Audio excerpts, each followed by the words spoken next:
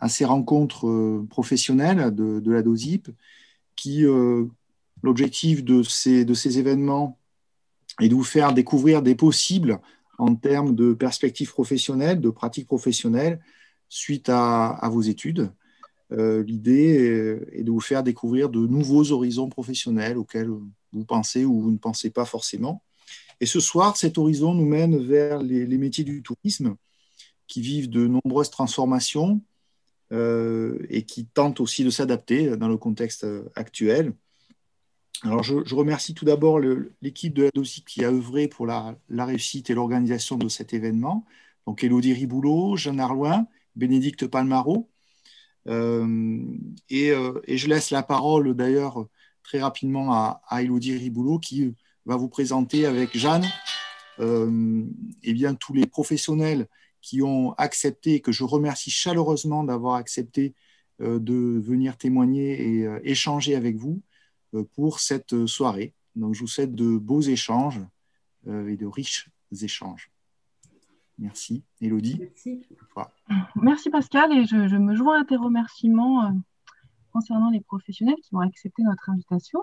avec Jeanne Arloin, nous allons animer cette soirée. Donc Jeanne vous présentera. Voilà. Euh, donc, euh, cet événement va s'organiser euh, en deux temps.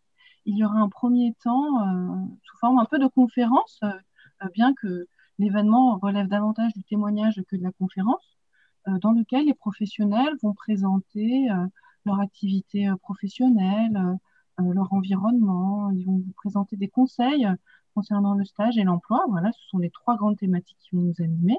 Et ces présentations vont se faire avec une succession de tours de table euh, donc, ça devrait durer à peu près une heure et demie, euh, ce temps de présentation. Et ensuite, nous nous retrouverons euh, pour un temps de questions-réponses. Donc, vous pourrez bah, là ouvrir vos micros pour poser directement vos questions aux professionnels. vous pourrez également diffuser des messages sur le chat. alors, à vrai dire, vous pouvez dès à présent, d'ailleurs, et tout au long de la soirée, communiquer via le chat c'est euh, notre collègue Bénédicte Palmaro qui recense euh, euh, tout ce contenu que vous allez remettre et qui relaiera les questions, etc., pendant ce temps de questions-réponses. il est temps que Jeanne Arloin vous présente invités de ce soir. Voilà. Donc, c'est mon tour et je vais à nouveau vous remercier très chaleureusement parce que vous avez répondu avec enthousiasme à cette invitation. Vous prenez ce soir un temps précieux sur vos emplois du temps respectifs. Je tiens à dire aussi que lorsque nous vous avons contacté au mois de novembre ou décembre, nous espérions pouvoir tenir euh, cette conférence en présentiel dans un bel amphithéâtre.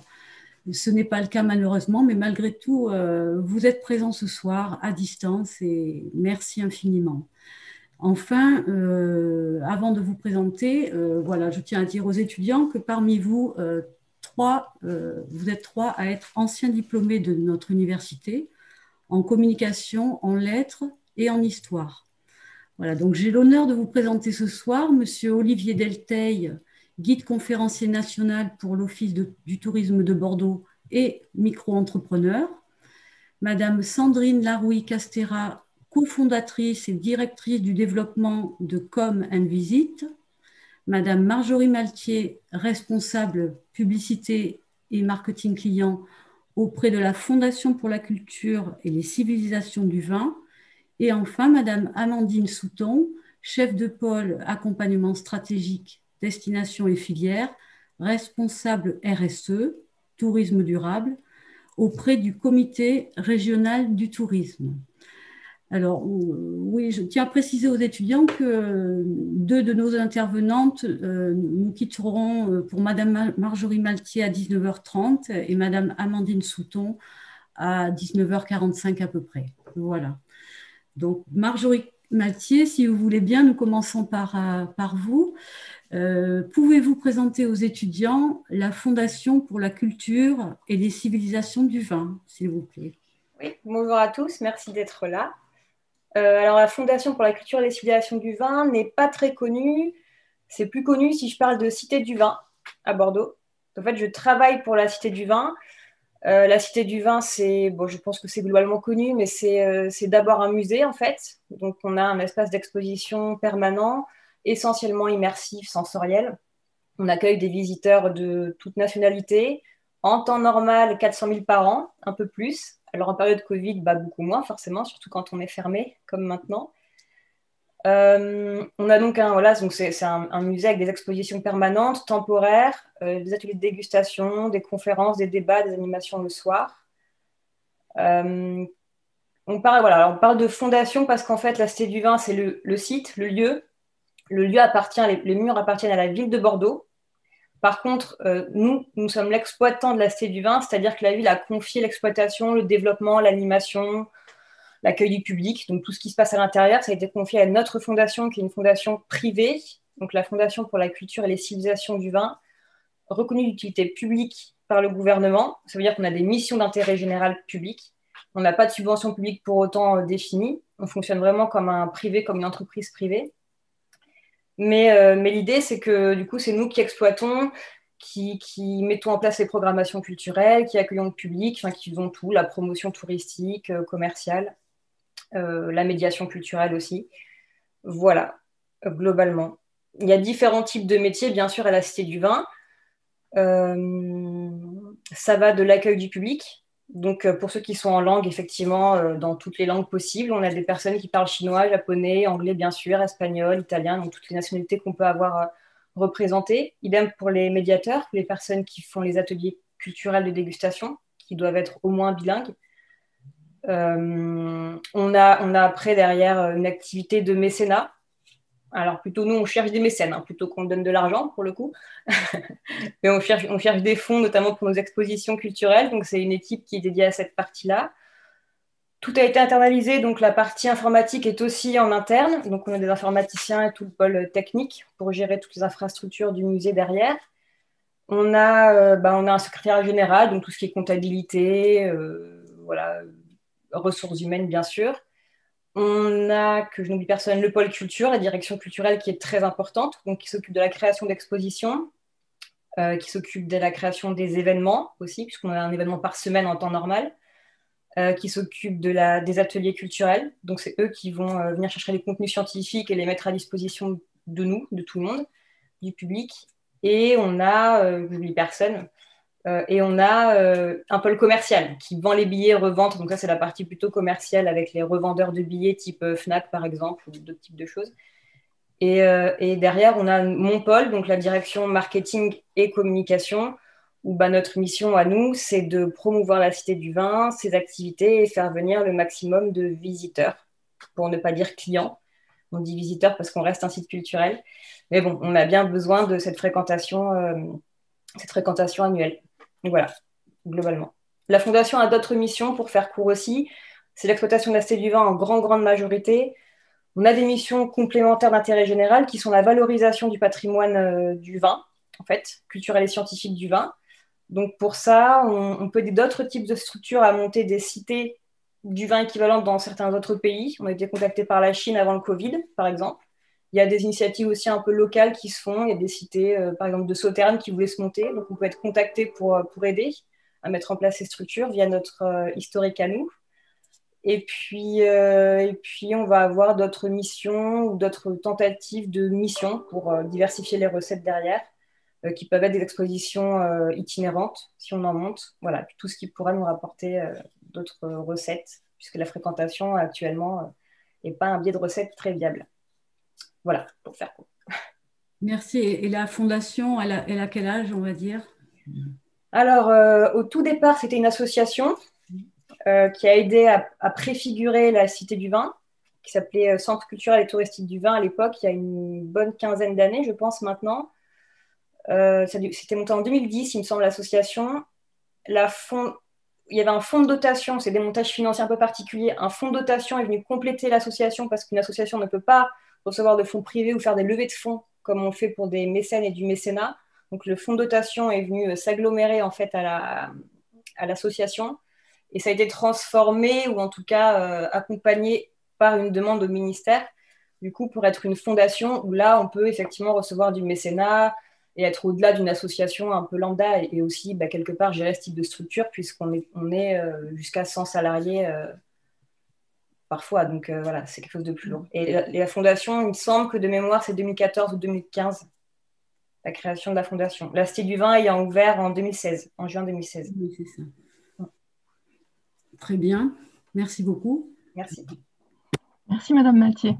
Donc nous changeons d'univers avec euh, vous, Monsieur Delteil. Euh, voilà, vous êtes guide conférencier, vous exercez euh, en étant rattaché salarié de l'Office de tourisme de Bordeaux et également dans le cadre d'une activité d'indépendant. Est-ce que vous pouvez nous présenter vos deux, contextes professionnels, s'il vous plaît? Oui, alors, je crois que bon, j'ai mis le micro tellement tout le monde m'entend. Bon, alors, quand je suis arrivé à Bordeaux, pour faire simple, euh, il a fallu s'imposer. Donc, je suis passé par l'Office du tourisme. Et après, rapidement, ben, est né l'auto-entrepreneuriat. Maintenant, micro-entrepreneur, hein, c'est comme ça que ça s'appelle. Donc, j'étais un des premiers à m'inscrire avec d'autres collègues. À l'époque, je rentrais aussi à l'AGICA, l'Association des guides, interprètes et conférenciers, devenue ANIA, Association des guides euh, de la Nouvelle-Aquitaine même si leur site Agica, bon, c'est un nom déposé, c'est un peu compliqué à enlever sur le, sur le web. Mais toujours est-il que ben, j'ai développé un peu en concomitance ces deux activités, sachant très bien que ben, à un moment, il faut choisir. J'ai plutôt opté, moi, pour le travail avec euh, l'Office du tourisme, qui a proposé plus de travail que, que je ne pouvais euh, développer rapidement avec l'auto en, entrepreneuriat, mais je fais, j'en fais toujours, oui, oui, mais c'est des groupes ou des, gens qui me redemandent chaque année. Alors bon, mais j'accepte volontiers. Euh, les lieux où j'exerce, ben, c'est Bordeaux, hein, suivant des sujets, on aura l'occasion d'en parler au cours de la soirée. Euh, et puis surtout, ben, Arcachon, Blaye, Bourg, euh, Saint-Émilion, bien évidemment. Hein. très peu en Dordogne, j'ai fait deux fois seulement, alors que j'avais été formé au départ dessus, mais bon, ça remonte maintenant.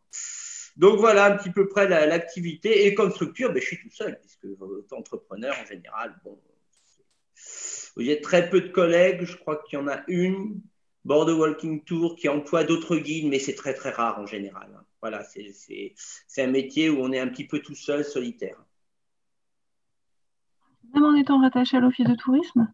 Euh, Ah oui, alors euh, on peut travailler en équipe, mais la mission, c'est notre mission. Donc, mmh. au final, euh, sauf sur les gros, sur l'événementiel, où là, on a plusieurs groupes, donc on se partage les groupes. D'ailleurs, avec un peu de chance qu'on n'avait pas envie de travailler, c'est très bien d'être mis dessus parce qu'en général, il y avait moins de monde qui se présentait. Donc, au final, il y en avait un ou deux qui partaient chez lui payés. C'est pas mal. Bon, c'est une histoire. Voilà, sinon, ben, le, métier a les mêmes caractéristiques que pour n'importe quel guide, qu'on se travaille pour un office tourisme ou pour, euh, pour euh, en individuel. On, on doit euh, avoir un bon contact avec le public, on se doit évidemment d'être présent à l'heure si possible. Pas toujours évident, ça dépend où on, va les chercher, puisqu'au final, on peut les chercher aussi bien en centre-ville, à leur hôtel, comme aller, dans un, aller chercher à, proximité de l'aéroport de Mérignac, dans un hôtel très très éloigné. Quoi. Donc, il faut prévoir le temps de transport, voilà. Et des longues journées. En général, il faut savoir que ça ne finit jamais à l'heure. En général, on a toujours une demi-heure ou une heure de retard au retour, euh, notamment quand on fait Bourblaille. Alors là, c'est un peu la cata, mais bon, ça, c'est une autre histoire. C'est moi. Merci, Monsieur Delteil. Euh, nous allons entrer dans l'univers euh, du tourisme d'entreprise, qui est un univers assez, euh, comment dire, émergent quand même. avec vous, Madame Sandrine Loury Castera. donc voilà, depuis peu, vous avez mis fin à, l'aventure de votre entreprise que vous avez créée. Hein. voilà, on comprend, hein, pour des questions financières. Ça fait un an que euh, les marchés sont compliqués aujourd'hui avec ce contexte euh, politico-sanitaire euh, très contraint. néanmoins, votre entreprise, elle est très intéressante. Est-ce que vous pourriez nous présenter les différentes activités qu'elle comprend, s'il vous plaît? Oui, il y a quatre ans, j'ai cofondé Common Visit, en fait, euh, c'est une agence qui, euh, une entreprise euh, de l'économie sociale et solidaire, puisque nous, on s'est créé sur une idée qui était d'aider le, citoyen à, comprendre la manière dont se développe son territoire. pour lui permettre après d'agir et participer à la vie de la cité.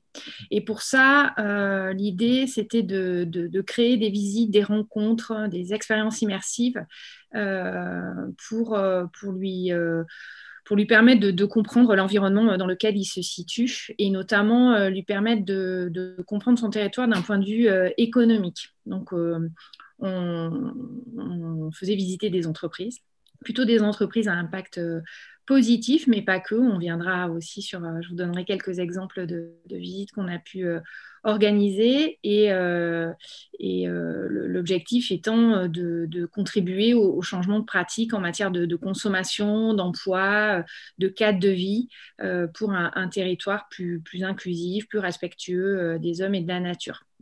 Euh, en fait, on est parti d'une idée qui était que pour visiter une entreprise, il y avait peu d'occasions finalement quand on ne disposait pas, quand on ne disposait pas d'un réseau, d'un carnet d'adresses suffisant.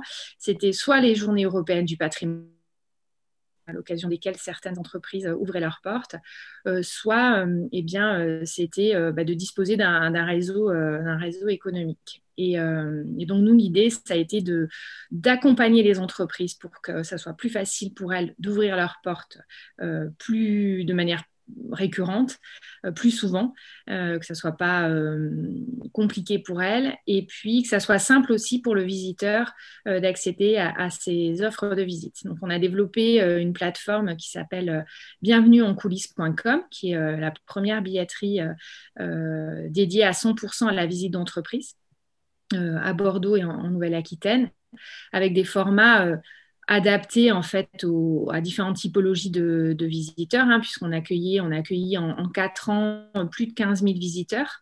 Enfin, la billetterie, elle a, elle, a, trois ans et demi, et sachant que toute l'année 2020, euh, euh, je n'ai plus les chiffres en tête, mais euh, on, a dû accueillir moins de 1000 personnes euh, sur, euh, sur l'année 2020, puisque notre activité elle a été euh, très, très impactée par, par forcément par, par la Covid. Donc voilà. 15 000 visiteurs qui étaient à la fois des particuliers, puisque souvent les, visites, elles sont plutôt à destination de groupes déjà constitués. Euh, mais assez peu euh, à destination d'individuels. Donc, on, constituait des, groupes à partir de, particuliers qui pouvaient acheter euh, leur, visite en ligne. Donc, rendre la, visite accessible, la visite d'entreprise accessible, aussi accessible finalement qu'on peut aller au, cinéma, voir un spectacle. C'était vraiment ça l'idée. Donc des particuliers, des groupes, et dans les groupes, on avait des scolaires euh, de, on va dire, de, de l'école primaire, euh, du CM1, cours moyen, euh, jusqu'à des lycéens, jusqu'à des post-bac, beaucoup d'étudiants à l'occasion de, Learning Expedition, dans des, objectifs vraiment à, à viser professionnelle.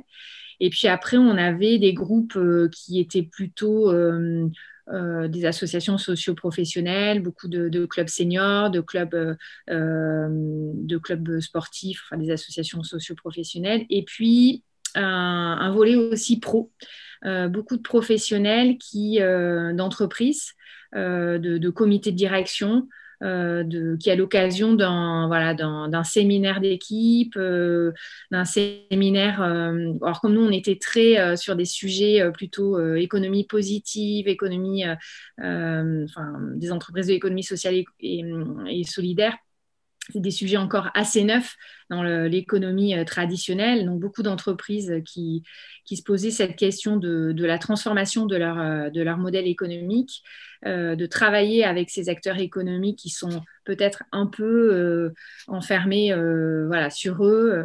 et donc, il y avait le, souhait bah, d'ouvrir un peu leur chakra et d'aller visiter d'autres typologies d'acteurs.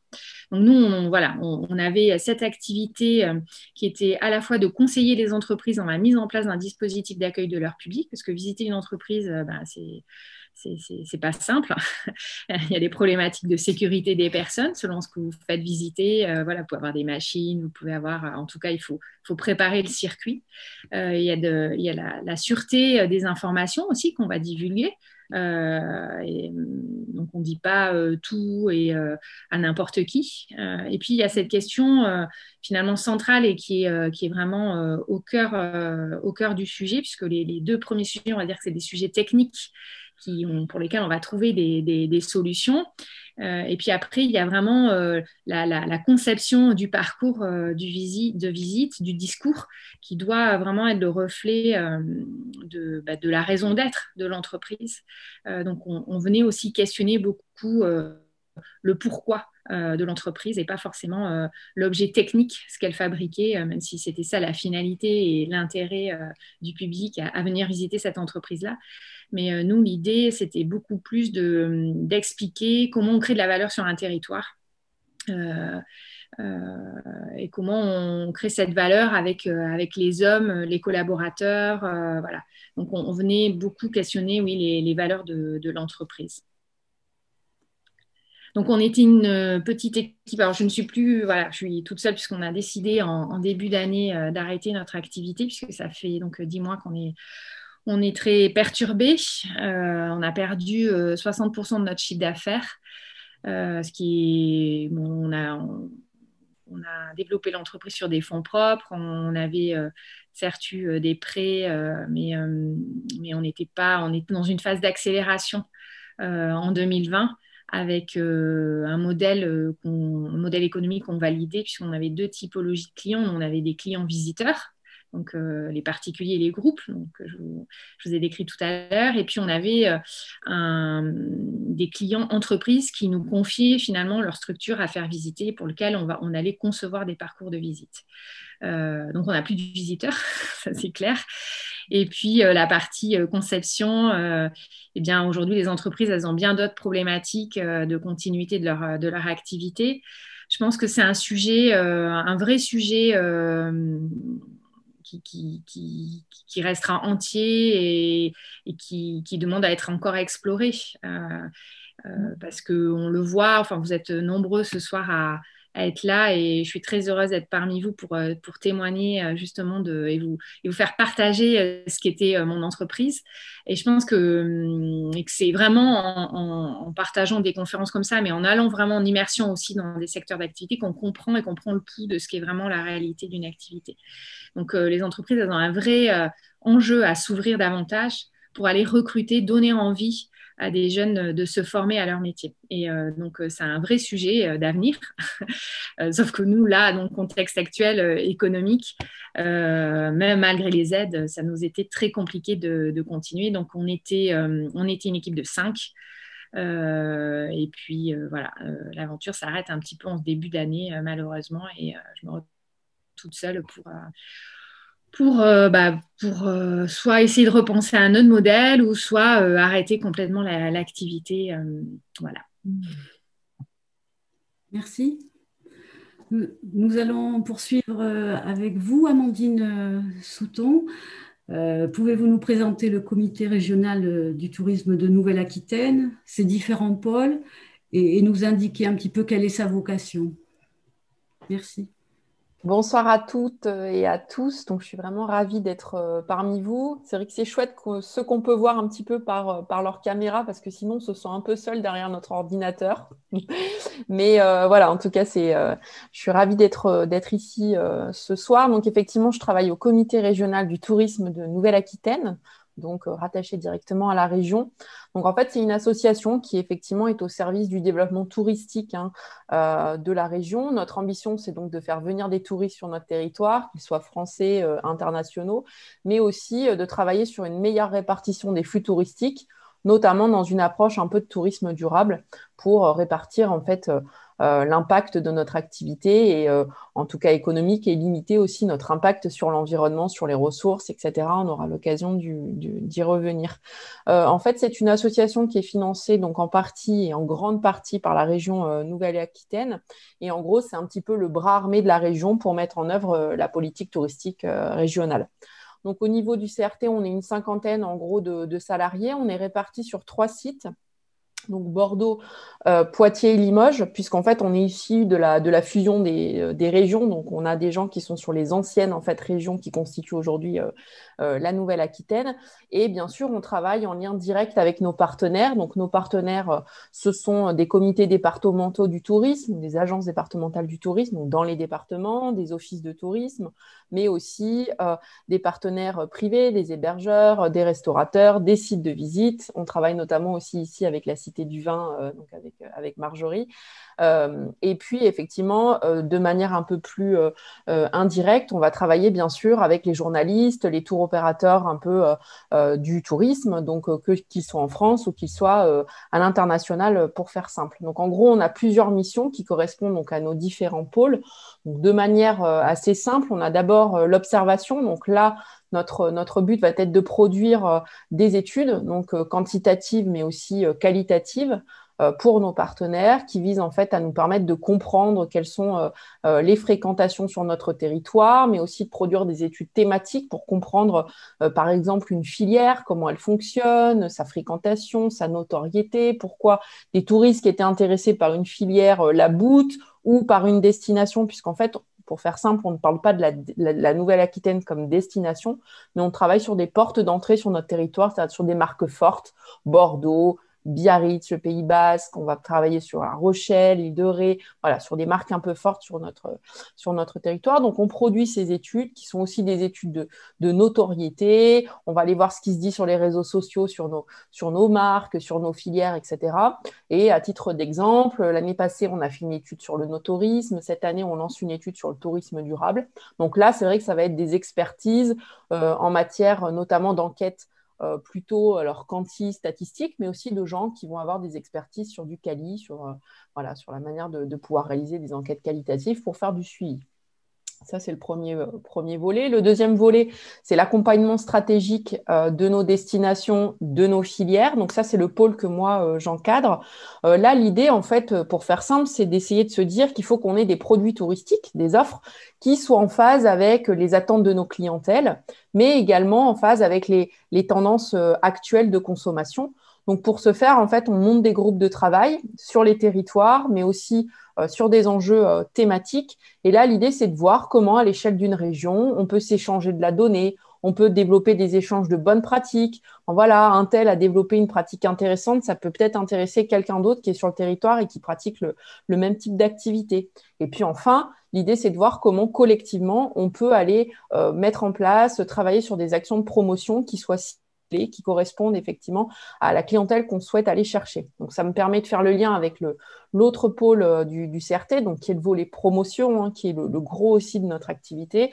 Donc là, bah voilà, une fois que l'offre est structurée, il faut qu'on essaye de la, de la promouvoir, donc euh, en France, à l'international. Pour ça, on a, on a différents outils. Donc on va essayer d'aller capter euh, les touristes et le grand public. Donc par exemple avec de l'affichage métro, avec des campagnes de promotion sur le web, tout ce que vous pouvez voir quand vous quand, vous, quand vous naviguez sur le web, les, les enfin toutes les, les, petites choses qui apparaissent que, sur lesquelles on travaille pour donner envie en tout cas aux gens de venir sur, euh, sur la région. On a aussi bah, le lien euh, avec les réseaux sociaux, donc, sur, lequel, sur lesquels on travaille aussi activement aujourd'hui. On travaille aussi sur le volet lien avec les professionnels du tourisme. Donc, on accueille sur notre territoire des journalistes, aussi de plus en plus des influenceurs. Et puis, bien sûr, on est présent sur les salons euh, professionnels du tourisme. Bien sûr, tout ça, on le travaille avec, euh, avec nos partenaires.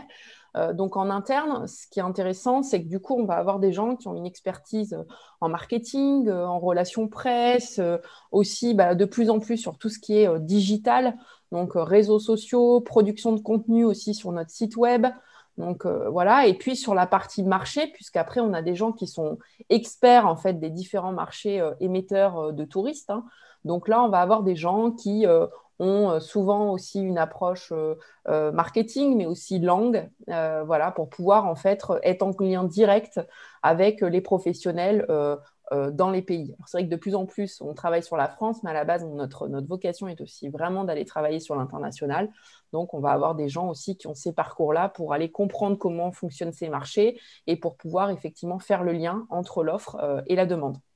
Voilà, donc euh, j'ai essayé de faire court pour expliquer l'émission du CRT. C'est parfait, parfait. Merci beaucoup, Amandine. Alors maintenant, nous allons euh, aborder le second tour, ce second tour de table. Euh, pour ce second tour, euh, pour chacun d'entre vous, nous allons vous demander de retracer votre parcours, votre parcours d'études, votre parcours professionnel. Nous aimerions que vous puissiez expliquer aux étudiants en quoi consiste votre métier et aussi, surtout, comprendre comment, à partir de, votre parcours de formation, vous avez été amenés chacun à travailler dans ce secteur euh, et euh, quelles sont vos missions concrètes au quotidien et les projets sur lesquels vous travaillez en ce moment. Voilà, donc je commence avec Marjorie Maltier. Chère Marjorie, euh, vous êtes diplômée de notre université, hein. vous avez obtenu un master en communication des organisations, mais vous avez commencé par des études artistiques en théâtre. Euh, vous êtes parti en Australie. Alors voilà, la question, ça sera comment êtes-vous passé du théâtre à la communication et enfin au, tourisme? Racontez-nous. Alors je vais essayer de faire euh, clair et concis parce que mon parcours, moi, était un peu atypique. Euh, j'espère que ça peut vous intéresser, en tout cas inspirer le fait qu'on n'est jamais cloisonné et surtout il ne faut pas se cloisonner parce que moi c'est ce qui m'a permis en fait de bouger après et de sortir un petit peu de, carcan peuvent être parfois difficiles sur certains types d'emplois ou de secteurs. Moi, j'ai un bac S à la base. Euh, je pensais m'orienter plutôt sur l'aspect biologie parce que c'était quelque chose que j'aimais beaucoup. Et finalement, ayant commencé le théâtre adolescent, je me suis prise de, prise de passion pour le théâtre. Et, euh, et en post-bac, j'ai auditionné pour le conservatoire de théâtre à Bordeaux. Et je me suis inscrite en licence théâtre en première année, donc à Bordeaux 3, c'est l'UFR Art. Euh, de mémoire, je crois, le bâtiment euh, vert, là, enfin, qui est vert, on ne sait pas trop quelle couleur, qui est sur le campus. Euh, je ne connaissais sûrement pas, mais moi, je suis tombée l'année du CPE, donc c'était une année qui était très particulière aussi au niveau universitaire, parce qu'on a eu des blocages et des grèves qui ont duré des semaines et des semaines. Donc, il y a eu des semaines et des semaines de cours qui n'ont pas eu lieu cette année-là, sur ma première année. Et, et j'ai dû faire un choix assez rapidement, puisqu'au conservatoire de théâtre, j'avais 35 heures par semaine. Et euh, j'avais, euh, bah, pareil, 25 ou 30 heures de cours en première année en licence 1. Donc forcément, ma première année, mon premier semestre en tout cas, je l'ai complètement foiré, puisque c'était impossible de gérer les deux. Et, euh, et j'ai fait le choix, en fait, en cours d'année, d'arrêter le conservatoire, parce que j'avais un peu le stress quand même de ne pas trouver trop de boulot en tant que comédienne et je voulais m'assurer un diplôme à minima. Donc j'ai privilégié le diplôme universitaire et je suis restée uniquement à la fac. Donc j'ai pu faire ma première année, du coup réussi puisque ça compense. Hein, vous connaissez les modèles d'UE, quoi, globalement, sur les semestres. Et euh, je passais en deuxième année de théâtre. Ça me plaisait toujours, mais j'ai commencé à pressentir un petit peu le fait que ça pouvait être un secteur un peu nécrosé ou difficile, en tout cas pour trouver du travail uniquement sur ce secteur-là j'avais pas beaucoup de billes à côté, hein, puisque moi je viens d'un milieu qui était scientifique. Donc euh, voilà, j'avais pas forcément de réseau ou de connaissances de, des métiers autres qui entouraient la culture et le théâtre.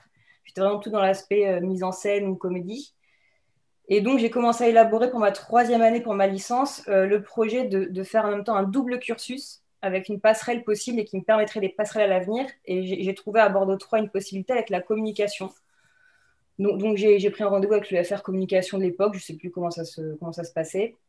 Euh, et, on m'a dit qu'il était possible, en rentrant en licence 3 de théâtre, d'en même temps cumuler une licence 2 de communication et de jongler avec les deux, ce que j'ai fait. Donc, c'était un petit peu chargé sur ma troisième année de licence théâtre et, euh, du coup, le, DUG de, com. Mais ça a pu se faire, ça a réussi. J'ai réussi à récupérer les cours. Les profs ont été assez cool parce que j'ai eu des élèves qui m'ont permis de faire, faire, cette chose-là. J'étais pas en cours, donc j'étais presque à distance, en fait, en communication. C'est étrange, J'étais sur place, mais pas dans les cours de com, j'étais en cours de théâtre, moi. Et, en tout cas, ça a été vraiment une bonne idée pour moi, hein, parce que ça m'a permis d'avoir cette licence dans le secteur culturel, il y a un niveau licence, et en même temps, un, diplôme de communication, certes moins élevé, mais avec des modules déjà, et en tout cas de première base de communication. Parce que derrière, je savais que je voulais continuer les études. Et, euh, l'ouverture petit à petit que j'ai eue en fait dans, dans, le monde du travail, ou en tout cas en discutant même en grandissant entre 18 et 21, 22 ans, euh, ça a été de, m'orienter sur d'autres choses. Et j'avais quand même pensé bien faire de la communication culturelle pour rester dans la culture, quand même à la base. Et donc, euh, n'ayant pas forcément les moyens d'avoir un appartement hors de Bordeaux, puisque je suis bordelaise, j'avais vu qu'il y avait euh, le master de com, donc à ISIC, à l'ISIC, sur Bordeaux 3, donc communication des organisations, qui m'intéressait fortement. Ce choix de master, c'est pareil, ça a été fait encore une fois pour ouvrir, parce qu'il y, a des masters de communication culturelle dans d'autres villes ou même sur Bordeaux sûrement.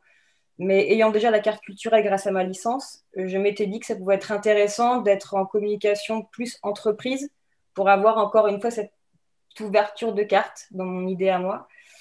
Et donc, j'ai été prise sur le master euh, de Bordeaux 3, master de, communication.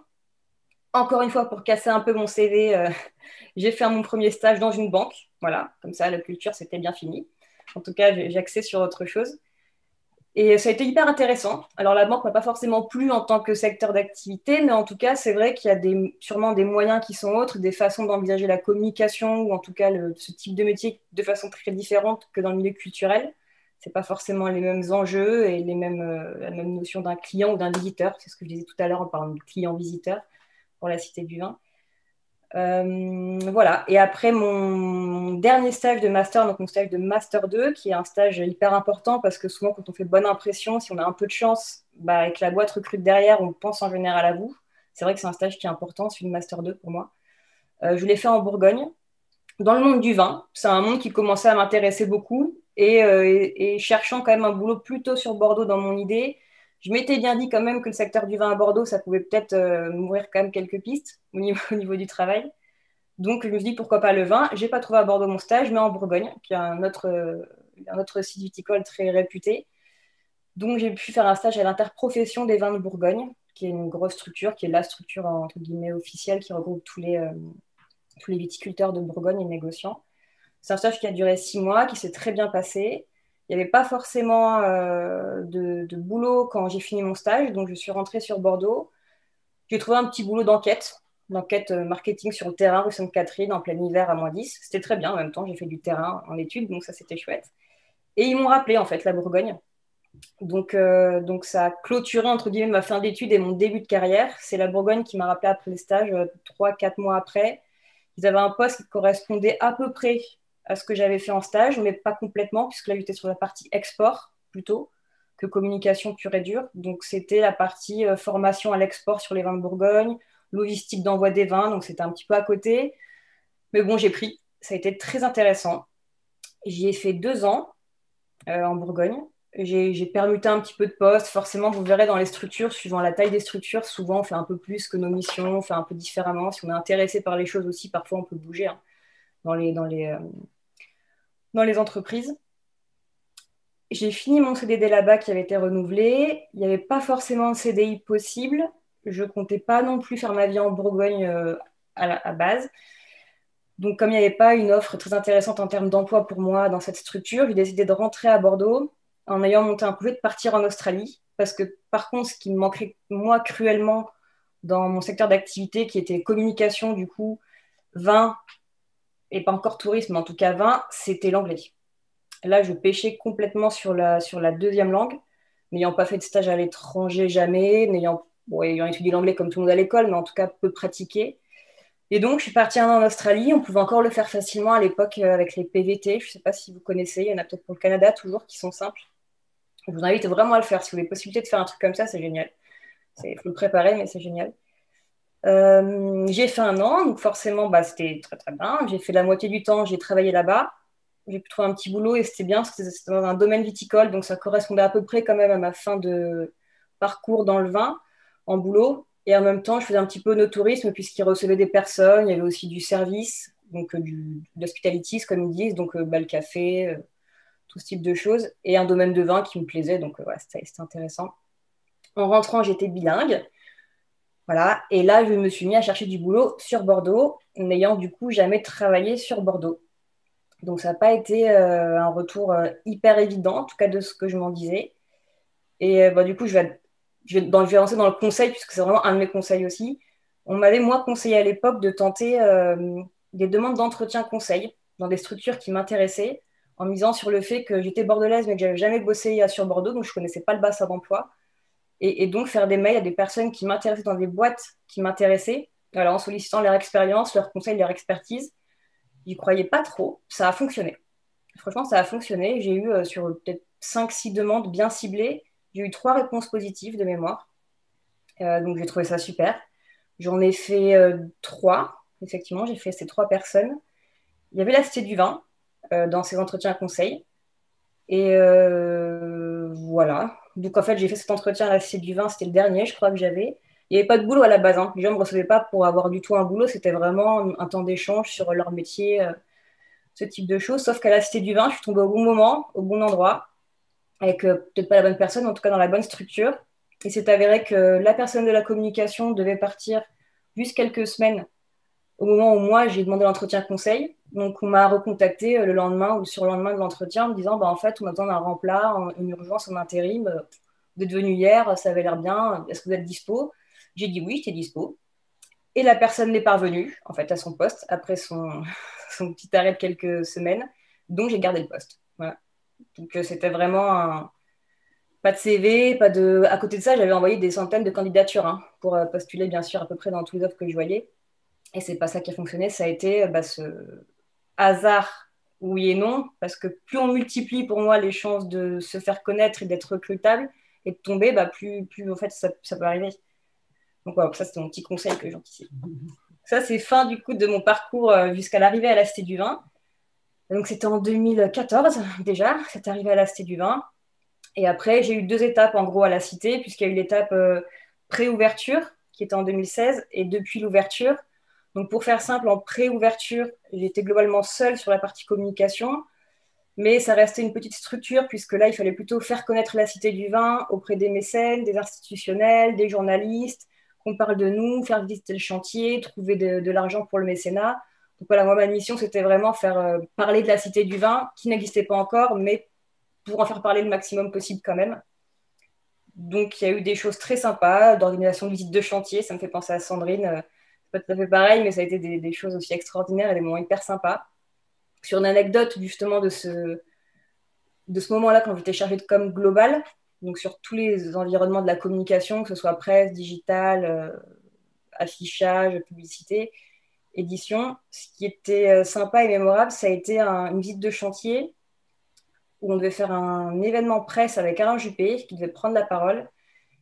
Et j'avais décidé d'organiser, avec accord bien sûr de ma direction, hein, la visite de chantier au septième étage de la du Vin. Il n'y avait que du béton à l'époque, hein. il n'y avait pas les murs, il n'y avait vraiment que la structure béton, donc pas d'électricité, pas d'eau. Et on a organisé une conférence de presse au septième étage avec Monsieur Juppé et tout le monde, des journalistes qui montaient avec des bottes lestées de poids sur le chantier au septième étage, avec, euh, euh, le traiteur qui était là pour les petits fours, mais sans autant d'électricité, dans des escaliers.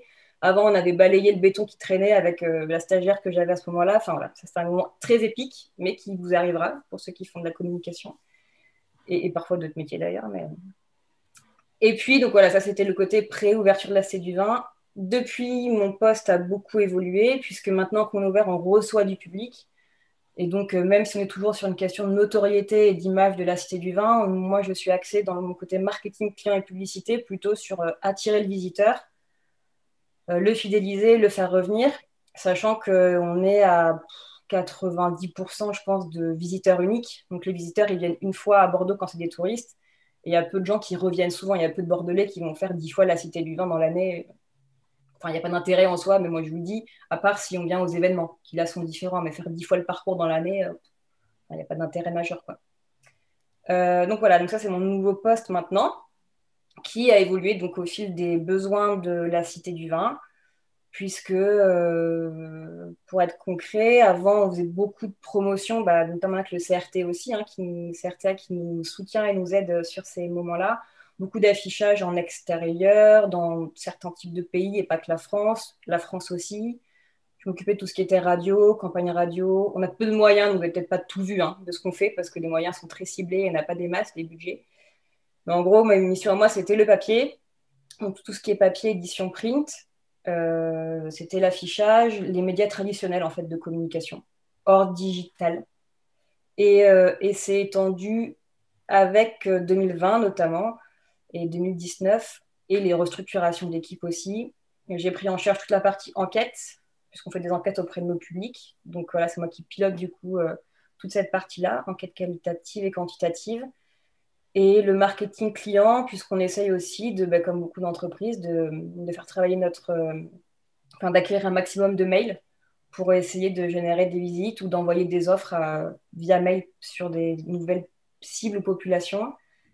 et la production de contenu. Euh, je pense que ça, quel que soit votre parcours, c'est quelque chose que vous, vos générations, à mon avis, c'est à maîtriser absolument suivant les métiers vers lesquels vous vous orienterez. Même pour des stages, ça peut être quelque chose pour moi qui, qui, euh, qui peut différencier en fait. Parce qu'on se rend compte que dans nos métiers de communication, et pas que, il y a un besoin énorme de création de contenu parce qu'il y a quasiment tout le monde, maintenant toutes les boîtes qui sont sur les, réseaux sociaux et toutes ces plateformes-là, toutes les chaînes YouTube et autres. Et euh, il n'y a pas forcément beaucoup de compétences encore en interne. C'est pas forcément plus des compétences qui sont hyper techniquées, il n'y a pas besoin de monter un film euh, pour le cinéma. quoi. Donc les outils ne sont pas forcément énormes, sont pas forcément chers, mais la compétence technique de savoir faire un TikTok, ben, moi, à mon âge, c'est zéro, par exemple. Ou même de faire un truc très simple avec mon smartphone pour mettre sur YouTube avec un logiciel de montage, je ne l'ai pas fait. Je l'ai jamais fait, j'en ai jamais eu besoin. Par contre, ouais, ça devient quelque chose qu'on commence à, produire, même nous à la Cité du Vin, puisqu'on va parler de nos missions actuelles. Actuellement, là, on a des projets sur lesquels je suis, qui sont de la création de contenu. Euh, c'est du podcast pour notre exposition. Donc là, je suis en train de faire de la rédaction de textes pour essayer de produire un podcast ou quelques podcasts pour notre exposition qui vont arriver. Donc c'est nouveau. Hein Alors moi j'ai des bases de rédaction grâce au théâtre, comme quoi tout se recoupe parfois un jour dans nos mondes, euh, entre les études et le monde du travail. Mais, euh, mais ouais, ça reste quand même des choses qui sont euh, que vos générations auront en avantage. Ça, il ne faudra pas l'oublier par rapport à nous qui sommes en, en, place. Et donc dans des stages ou dans des parfois demandes de petits boulots ou de boulot après, c'est toujours valorisant vous vous rendez peut-être pas compte de ça, mais voilà. Enfin, pour moi, c'est quelque chose qui est notable. Ces, ces compétences-là que vous avez euh, un peu innées ou induites parce que c'est votre, votre façon de vivre, quoi. Et je m'arrêterai là. Je répondrai aux questions s'il y a besoin euh, après. Merci beaucoup, Merci. Merci Madame Mathieu. Alors je, je réponds euh, à Maria qui me demande, qui doit partir, qui me demande si, qui nous demande il y aura une rediffusion euh, de l'événement. Donc euh, oui, euh, un objet va être créé et sera diffusé sur nos pages d'OZIP dans outils et ressources, donc vous pourrez revenir vers nous. par contre, ça peut prendre du temps. Cette année, ça prendra moins de temps, mais par exemple, l'an dernier, on a mis un an à créer ces, vidéos. Donc là, il faudra attendre, je pense, un mois, Voilà pour cet aparté. Reprenons le fil de l'événement avec vous, Monsieur Dataille. Donc, vous êtes aussi vous avez un parcours de passionné, passionné d'histoire, sur des thématiques que vous allez certainement nous dévoiler au travers de votre activité actuelle. Vous êtes également passionné de votre région. Euh, aujourd'hui, donc, vous êtes euh, conférencier, mais ça n'a pas toujours été le cas. Vous avez connu euh, différents rebonds professionnels. Donc, pouvez-vous nous présenter tout simplement votre parcours ainsi que différentes activités, visites que, que vous réalisez aujourd'hui? Oui, bah alors oui, moi je n'étais pas vraiment appelé à, à faire ce métier, puisqu'au final, bon, déjà j'avais fait un bac B économie, hein, donc il n'y a pas de. Et puis j'ai été récupéré par l'âge euh, pour service militaire, alors je vais faire euh, dans la communication, je crois que c'était à, La Rochelle, voilà, petite IUT. Donc ben, j'y suis allé, hein, euh, il s'est avéré qu'au final, ben, je suis rentré dans la gendarmerie comme ça, voilà, et qu'au final c'était bien payé, hein, pour rester poli. Donc voilà, après quelques temps passés là-bas, j'ai, premièrement, comme j'avais pas eu mon bac, voilà, c'est pour ça que j'avais préféré devancer un petit peu l'appel, puisqu'à l'époque c'était obligatoire, il y a un an encore, à l'époque. Ben, j'ai profité pour passer mon bac en candidat libre chez moi, Périgueux. Donc, euh, comme j'ai déjà raconté, euh, quand vous avez au téléphone, mais bon, ça va faire quelques-uns. J'y suis allé habillé en gendarme, quoi, avec le pétard au côté, et j'ai passé mon oral d'anglais en, je crois, une minute, ça a duré, puisqu'elle a cru que je venais pour lui dire que sa voiture a été volée. J'ai dit non, non, tout va bien, c'est juste passé pour l'oral. J'ai dit un mot et je l'avais. Quoi. Voilà. Oui, j'ai jamais été doué, été beaucoup en langue. Donc, bon, après la période de gendarmerie, évidemment, où je me suis un petit peu ennuyé ferme quand même à la fin, bah, pour le, ce qu'on disait, c'était parce que ça m'intéressait pas vraiment. À la limite, c'était presque, je pourrais dire maintenant que c'est presque un job alimentaire. Bon, une autre histoire. Et donc, euh, me voici en train de reprendre euh, ce à quoi m'a poussé ma passion, c'était les études d'histoire. Donc, euh, j'avais déjà commencé avant la fin de la période, hein, j'avais aménagé des temps, j'avais commencé à, voir si je pouvais me inscrire à la fac et ce que je voulais faire. Je n'étais pas le seul à quitter d'ailleurs, la jeune génération à ce moment-là, dans le boulot. Et donc, ben, je suis allé à la fac à Bordeaux, donc j'ai fait histoire bah, le, circuit classique. Ensuite, bah, je, comme j'étais d'origine sarladaise, ma grand-mère habitait Sarlat, ma famille euh, était bien implantée à Sarlat, j'avais mon grand-oncle qui a été conseiller général, premier adjoint au maire, j'avais les amis de la famille, il y en a un qui était président du tribunal du commerce de Sarlat, l'autre qui était directeur de l'hôpital de Sarlat. Enfin bon, bref, pour faire simple, c'était un peu la famille avec les, les petites ficelles qui tiraient un peu tout ce qu'il fallait euh, à l'époque à Sarlat, dans les années 80 encore, fin jusqu'au début 80, et eh bien à ce moment-là, euh, j'ai décidé de faire ma maîtrise sur Sarlat, surprise. Donc moi j'y suis allé tranquillou, hein, il y avait de quoi me, loger même l'été, hein, j'ai passé euh, un mois à taper d'ailleurs tranquillement au bord de la piscine avec Castelnau en vue, c'est pas mal, le château. Hein, pas mal. enfin bon, bref, très dur comme, comme, comme boulot. Et après, ben, il fallait faire quelque chose de son histoire. Hein. Donc, euh, comme j'étais périgourdin, j'aime bien ma région, j'y suis attaché toujours d'ailleurs. Je suis retourné à Périgueux et, euh, et avant même de, comment dire, d'avoir vraiment fini les études, pour, pour mettre un peu la main à la pâte, j'avais demandé à la Sémitour à l'époque si je pouvais euh, travailler pour eux. Alors, au début, j'ai fait un stage. Sémitour, Société d'économie mixte du tourisme. Ça existe toujours, même si elle a perdu pas mal de choses. Hein. C'est toujours le, le cloître de Cadouin à visiter si vous n'avez pas fait, le château de Bourdet où je travaillais, le château de Puyguem, ça a été pris par l'État, donc ça c'est encore une autre histoire. Enfin bon, bref, pas mal de sites. Et notamment l'abri Pateau. Alors moi j'avais demandé benoîtement euh, quelque chose dans l'histoire. Et surprise, j'ai débuté par l'abri Pateau, la préhistoire. Bon, ça commençait bien, je me suis dit, bon, c'est pas grave, on s'adapte. Donc, euh, je suis allé un peu la, la gueule enfarinée pour rester euh, poli voir le, le, le, celui qui chargeait du site, qui travaillait à l'époque, ben, qui est toujours là, hein, je crois qui s'en occupe euh, pour les musées de l'homme, qui chapeautait l'ensemble. Et donc, je lui dis, ben, je ne connais pas grand-chose en préhistoire. Donc, il me dit, il n'y a pas de souci, euh, si tu peux être logé une semaine là-bas, je te donne des cours particuliers, tu viens pendant 7 jours, je vais te former, tu seras complet. Alors, j'ai accepté volontiers, les exercices sympa l'été. Hein. Donc, hop, j'y suis allé. Et donc, euh, c'est ainsi que j'ai débuté comme guide, mais je n'avais pas la carte. Donc, bon, après, le, stage se finit, c'est bien, mais il faut manger quand même. Donc, euh, je vais, euh, je vais à la bibliothèque. J'avais posé un CV, évidemment. La bibliothèque était intéressée par mon profil. Donc, on me met d'office dans le fonds Périgord. Voilà, donc remplacement là aussi, hein, voilà. Mais malheureusement, la personne est revenue, donc j'ai pas pas pu rester sur place là-bas. Et donc après, ben, je, comme le directeur de l'époque avait sa femme qui était aux archives départementales, je suis passé aux archives départementales, donc, donc, on parle de réseau, c'est vraiment un réseau.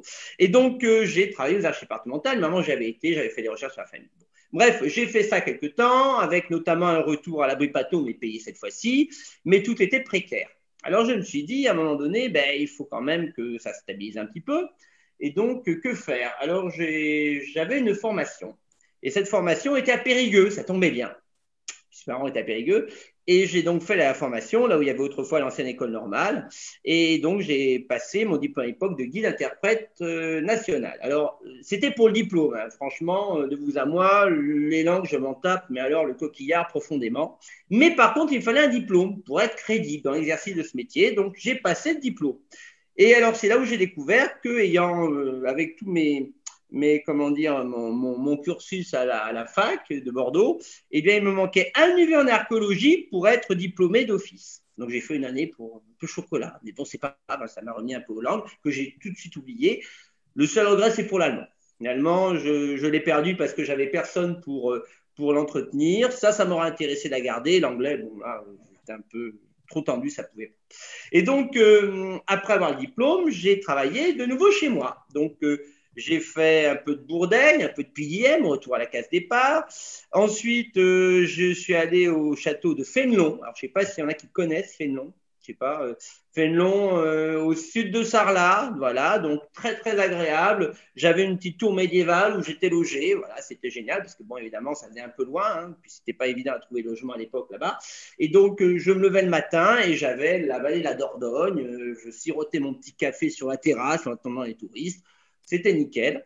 Et donc, euh, ça a duré ben, euh, neuf mois. Euh, ensuite, ben, j'ai essayé de trouver quelque chose de, plus long, etc. Mais ça n'a pas fonctionné. Donc, ben, j'ai entendu la, personne qui est passée tout à l'heure. J'avais envoyé aussi pas mal de CV. je vois passer une annonce pour la Bourgogne, comme quoi la Bourgogne. Et donc, ben, je suis allé en Bourgogne pendant deux ans et demi. Je travaillais en 6 francs. en six francs. Alors là aussi, château, château classé monument historique. En fait, pour tout vous dire, je n'ai fait qu'à peu près que du monument historique, puisque comme mon axe n'était pas les langues, je m'en foutais royalement. Donc bon, euh, le reste compensait largement pour les monuments historiques. Donc j'ai fait ceci, les monuments historiques. Donc 20 pour en six francs. Mais bon, comme a été dit aussi tout à l'heure, la Bourgogne, c'est la Bourgogne il fait très froid, hein, je peux vous le dire, hein, l'hiver, euh, ça pèle, et si vous n'avez pas des bons pneus, vous ne faites pas beaucoup de kilomètres pour aller chercher vos. Bon, autre histoire, il faut avoir plusieurs fois comme ça. Et puis à la fin, j'en avais un peu marre, donc je suis, je suis rapatrié en, Dordogne, voilà, c'était en 2100, ouais, c'est ça, début 2004 où j'ai retravaillé, après tout, on ne change pas une équipe qui gagne, pour la semi-tour, évidemment, Bourdeil puis Guillaume, voilà. Pas d'abri cette fois. Et donc, euh, après, ben, c'était toujours euh, précaire. Donc, il a fallu trouver autre chose et j'ai tenté Bordeaux. Alors, j'y suis allé pour deux raisons. Je m'étais intéressé, ben, j'avais passé mes études là-bas, j'avais été euh, à Bouliac pendant pas mal d'années pour cause et à gendarmerie là-bas. Et donc, à ce moment-là, je connaissais un petit peu la région. Ensuite, je me disais, je me tenais au courant et Bordeaux montait. C'était l'époque où Bordeaux avait. on était parti de la.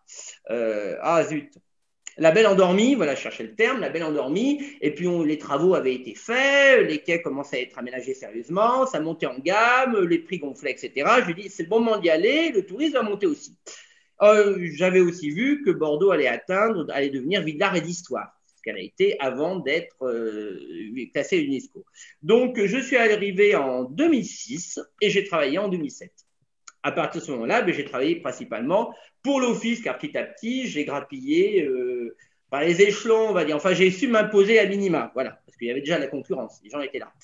Donc, euh, en même temps, comme j'ai dit tout à l'heure, je me suis inscrit en auto, qui était pour développer l'activité qui n'était pas suffisante pour l'office du tourisme.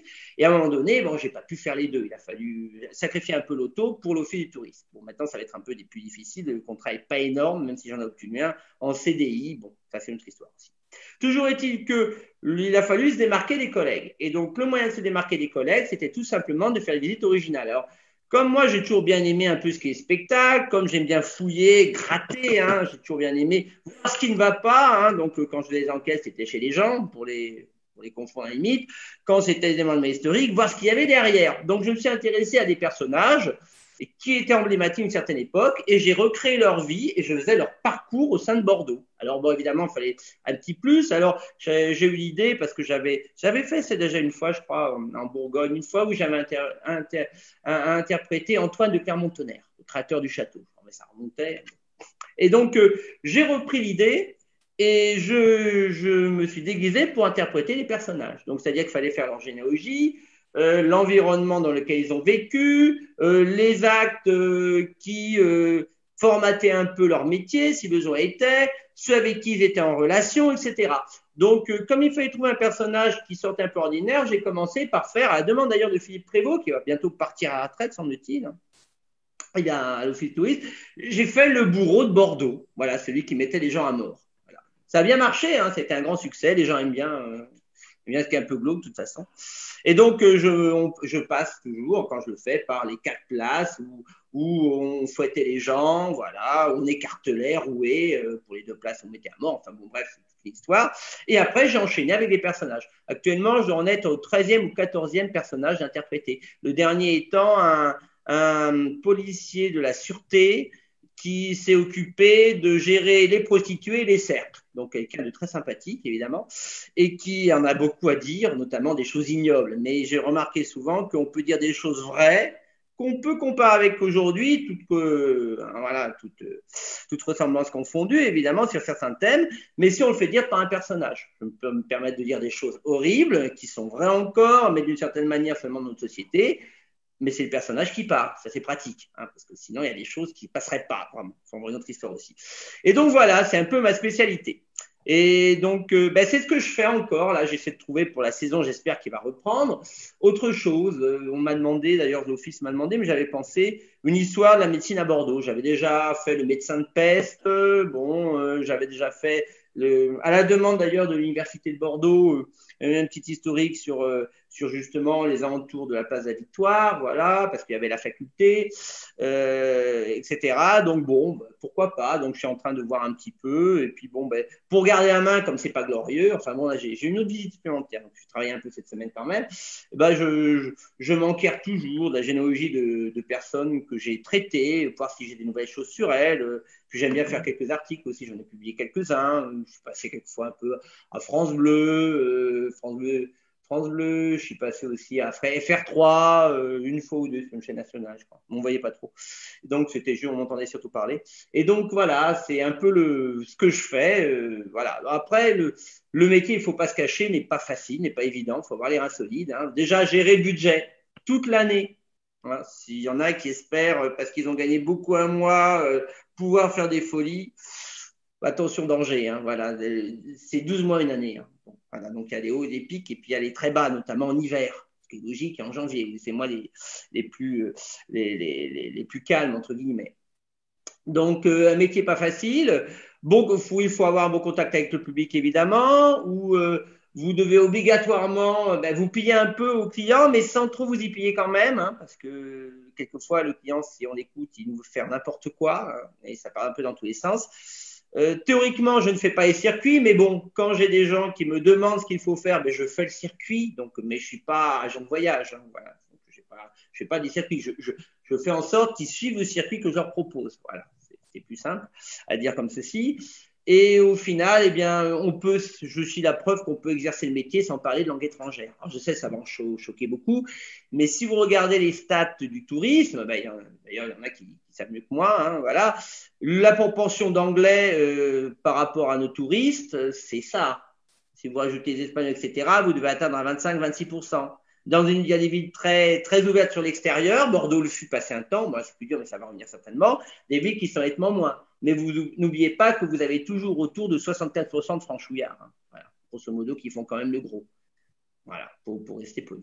Après, je ne sais pas quelles peuvent être les questions, mais en tout cas, si, si vous en avez, n'hésitez pas à les poser. Hein. J'espère que j'ai répondu à peu près rapidement au parcours. Hein. Oui, merci. Vous avez en effet dressé votre parcours, vous avez parlé de vos activités actuelles, euh, en parlant de votre singularité aussi. Hein, donc, euh, et c'est vrai qu'on ne rencontre pas toujours des guides euh, comme vous. Donc, merci. Madame Laurie Castera, vous, avez également suivi des, études chez nous anciennes, hein, les disciplines anciennes, histoire, là, pour vous, Madame Castera, vous, c'était lettres. Et en tant qu'étudiante en licence de lettres, vous vous êtes imaginé professeur de français? Oui, ouais. complètement différent. Qu'est-ce que vous pouvez nous parler de Vous avez vécu plein de vies, vous avez traversé différents milieux professionnels. Donc, qu'est-ce que vous pouvez nous raconter euh, ouais, moi j'ai une formation de j'ai fait un bac littéraire et puis, euh, puis j'ai intégré euh, Bordeaux 3 pour, pour devenir prof au départ, prof de français, parce que toute mon enfance on m'a, répété que j'écrivais bien, que j'étais bonne en orthographe, voilà, donc j'ai fait du latin, j'ai tout fait. Et puis, puis j'ai intégré Bordeaux 3 en me disant que bah, je deviendrais prof. Et puis, et puis j'aimais beaucoup aussi lire la presse. Euh, beaucoup euh, suivre l'actualité. Et, euh, en fait, assez vite, en faisant, donc j'ai une maîtrise de lettres, j'ai fait mon, mon, mémoire sur l'actualité littéraire à, Bordeaux sur la monarchie, la monarchie de juillet, tout ça parce que j'adorais les journaux. Et, donc, je me suis dit, mon, mon, mémoire, il faut que je le fasse, il faut que j'aille regarder un peu la presse de l'époque, dans quelle, quelle euh, période euh, j'aime bien. Euh, et donc, ouais, la monarchie de juillet, c'était une époque que je trouvais ça, je trouvais ça hyper intéressant. J'adorais les auteurs de, cette époque-là. Et puis en histoire, voilà, c'était une période assez intéressante à étudier. Donc, je me suis plongée dans la presse, dans la presse de l'époque. Et puis, je me suis dit, ah ben, que cette expérience quand même, euh, ce, goût du, média, euh, du journal papier, euh, j'ai envie d'aller voir ce que ça donnait aujourd'hui. Donc je suis partie faire un, un premier stage, alors qu'à l'époque, parce que je parle de ça, moi j'ai, c'est vrai que j'ai quand même, c'est, ça date hein, mes études, je ne saurais même plus vous dire en quelle année j'ai eu ma maîtrise, mais en tout cas les stages n'étaient pas obligatoires. Et c'était difficile quand même de trouver des stages quand on, venait de, voilà, d'une formation un peu, un peu généraliste. Et, donc, bah, j'ai tenté ma chance et j'ai eu un, premier stage à la rédaction de Pau de Sud-Ouest. Euh, et je suis partie un mois en stage non rémunéré pour voir, euh, pour voir ce que ça donnait. Et, euh, et donc, j'ai intégré cette rédaction-là. donc, au début, en suivant bah, les, journalistes de la rédaction. Et puis, petit à petit, ils m'ont confié des, petits comptes rendus d'associations, des chroniques culinaires. Enfin, voilà, je suis partie faire mes, petits papiers toute seule. Et euh, donc, j'ai demandé à refaire un autre stage et je suis venue à la rédaction de, Bordeaux cette fois-ci. Je me suis retrouvée à Senon, euh, à Sud-Ouest, pour un stage un petit peu plus long. Et là, euh, bah, comme j'écrivais plutôt bien, on m'a dit tu, vas, tu, vas, tu vas suivre les, conseils municipaux. Donc, je suis allée suivre, faire des comptes rendus de, conseils municipaux. Et j'ai adoré en fait ce débat politique. Et puis, euh, bon, en parallèle de ça, euh, bah, pendant une année, j'ai un peu, euh, j'ai fait mes stages, mais j'ai un peu je regardé, parce que je m'étais pas du tout préoccupée, puisque je devais devenir prof, de ce qu'on pouvait faire en dehors de passer une agrègue ou un, un CAPES, chose que du coup, je n'ai pas du tout fait. Mais pendant une année, j'ai cherché autre chose, tous les concours d'école de journalisme, et j'ai préparé ça. j'ai eu beaucoup de ratés j'ai pas eu beaucoup de, succès. C'est très dur, les, concours d'école de, journalisme. Mais j'ai réussi à intégrer l'Institut français de presse à, Paris 2, à Assas. Euh, euh, et, parallèlement à cette formation-là, j'ai continué à faire des stages dans, la presse quotidienne euh, régionale, toujours à Sud-Ouest. Et je me suis rendu compte qu'en fait, c'était pas ça que j'aimais, c'était surtout suivre l'actualité politique. Euh, comprendre comment fonctionnait euh, la vie de la cité. Et, euh, et, donc, je suis partie, j'ai regardé, c'est là que j'ai découvert ce que c'était la communication politique, la communication publique. donc, j'ai regardé ce qu'il y avait comme formation de ce type-là.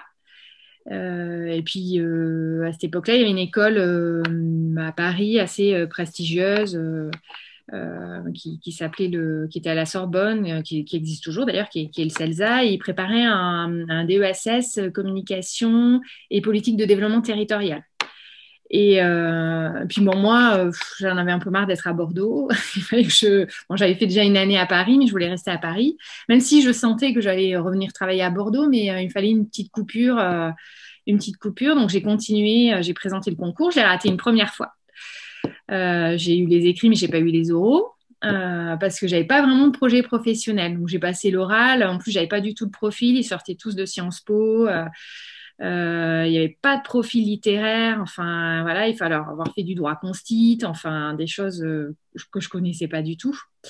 Et puis surtout, j'avais pas de, pas vraiment de projet professionnel. Je savais pas trop pourquoi j'y allais. Donc, bah, j'ai continué à faire l'Institut français de presse, hein, qui était en, deux ans. Puis j'ai continué à préparer le concours. Euh, que j'ai eu à la deuxième fois, parce que la deuxième fois, je savais vraiment pourquoi j'y allais. J'avais vraiment un objectif à la fin. Je m'étais dit à Bordeaux, c'était le moment où on, parlait, euh, où Bordeaux se préparait à, sortir de, cette belle endormie, justement. Et on parlait du, projet de tramway. Euh, c'était au moment où il y avait les études du, tram et, il y avait l'enquête publique, notamment, qui, qui, était en cours. Et euh, moi, j'avais suivi tous les débats euh, métro, euh, métro, tramway, enfin, toutes ces questions d'urbanisme m'intéressaient beaucoup.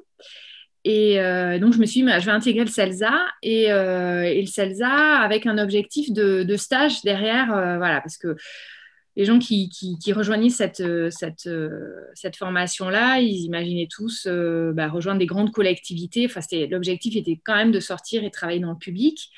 Euh, au final, euh, les, débouchés étaient complètement inversés. Je crois que je suis la seule de ma promo. Bon, déjà, il n'y a pas beaucoup de provinciaux parce que c'était vraiment comme ça euh, qu'on nous voyait vu de, Paris.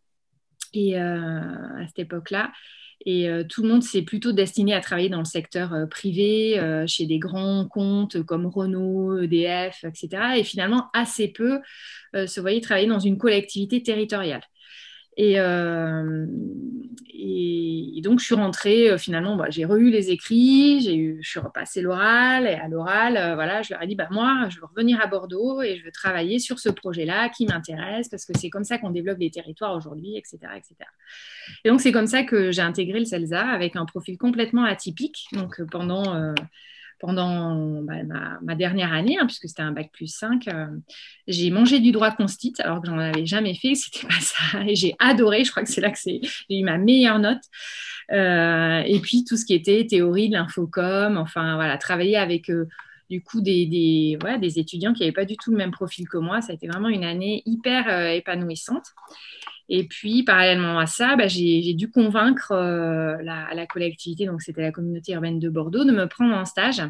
Et il se trouve que je l'ai appris bah, à ce moment-là, c'est que dans mon, dans mon jury, euh, au moment de passer l'oral pour euh, rejoindre le, CELSA, il y avait un, monsieur qui s'occupait, qui dirigeait une agence de, conseil et qui se chargeait de la concertation pour le compte de la communauté urbaine de Bordeaux. Donc, euh, enfin, vraiment euh, le fruit du, hasard, hein, parce que pourquoi il. Enfin, j'en avais vraiment aucune idée. Et ce monsieur, euh, bah, du coup, m'a mis en contact avec la, communauté urbaine de Bordeaux et la responsable communication pour, pour que j'obtienne un stage, un stage là-bas.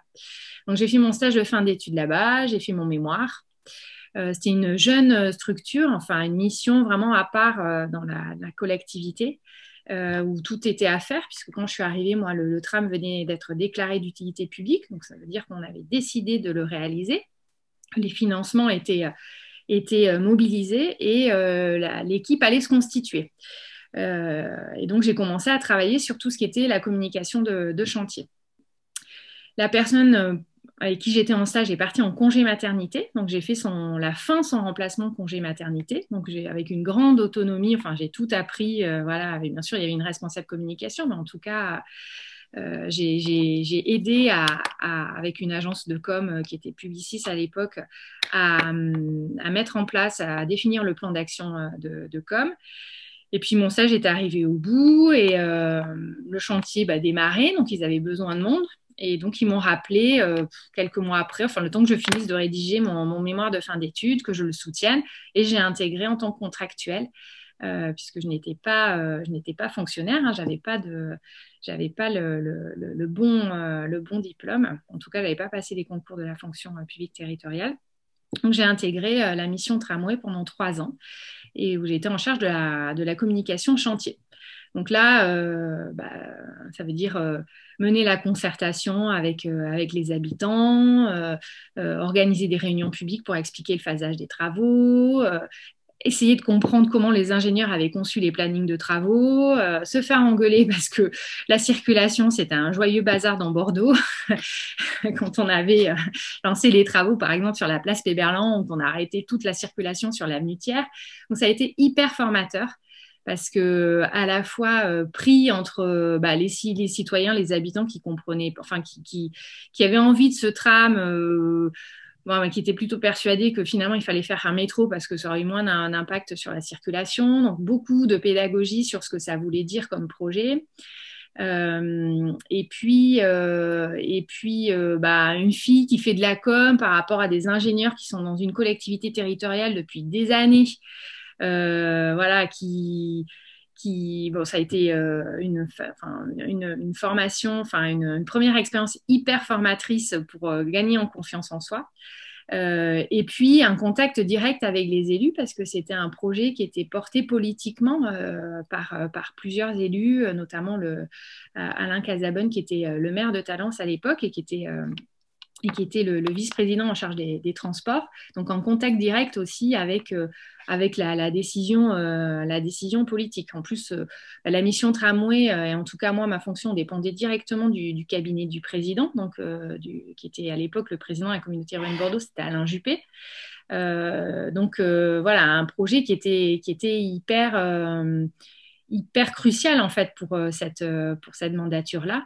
Euh, donc avec euh, certes des moyens, une équipe, une envie de réussir, enfin un collectif vraiment qui était, euh, qui était, qui, était là pour faire aboutir et livrer en temps et en heure ce chantier. Donc ça a été vraiment une, une aventure vraiment super pendant trois ans. Jusqu'à la mise en service et l'inauguration avec le président de la République à l'époque, Jacques Chirac. Donc, participer à tout ça quand c'est votre première expérience pro, c'est c'est ouais, moi je vous en parle et j'ai encore beaucoup d'émotions et d'ailleurs toute cette équipe de la mission tramway on s'est revus aux, 10 ans de la mise en service du tram aux 15 ans euh, donc euh, là ça va bientôt être les 20 ans euh, donc en, en, 2023 donc peut-être qu'on aura encore une petite soirée euh, et suite à ça, euh, bah, c'est là que j'ai découvert en fait toutes les questions autour de la mobilité, du transport durable, de l'urbanisme, de la façon dont on construit une ville.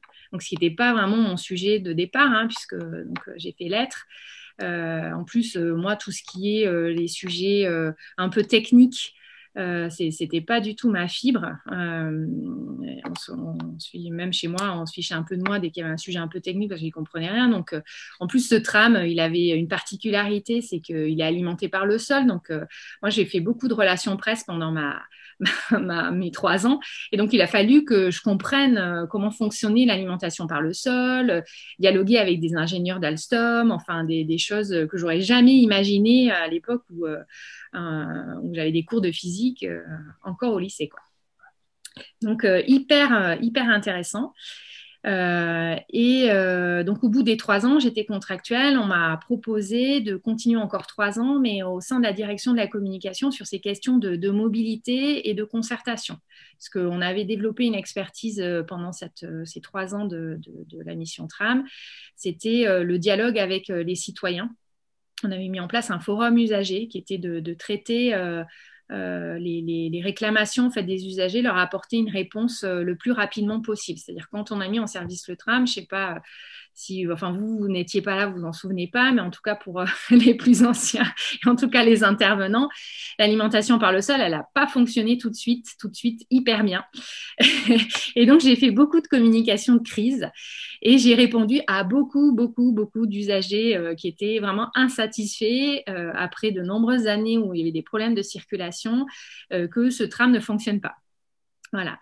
Et donc, on a euh, tout ce qu'on a appris pendant cette, euh, phase-là, on a essayé de l'étendre à tous les services de, la métropole, de la communauté urbaine de Bordeaux. Et donc, euh, j'ai pris en charge un service qui a été créé au sein de la direction de la communication et qui s'appelait le département proximité.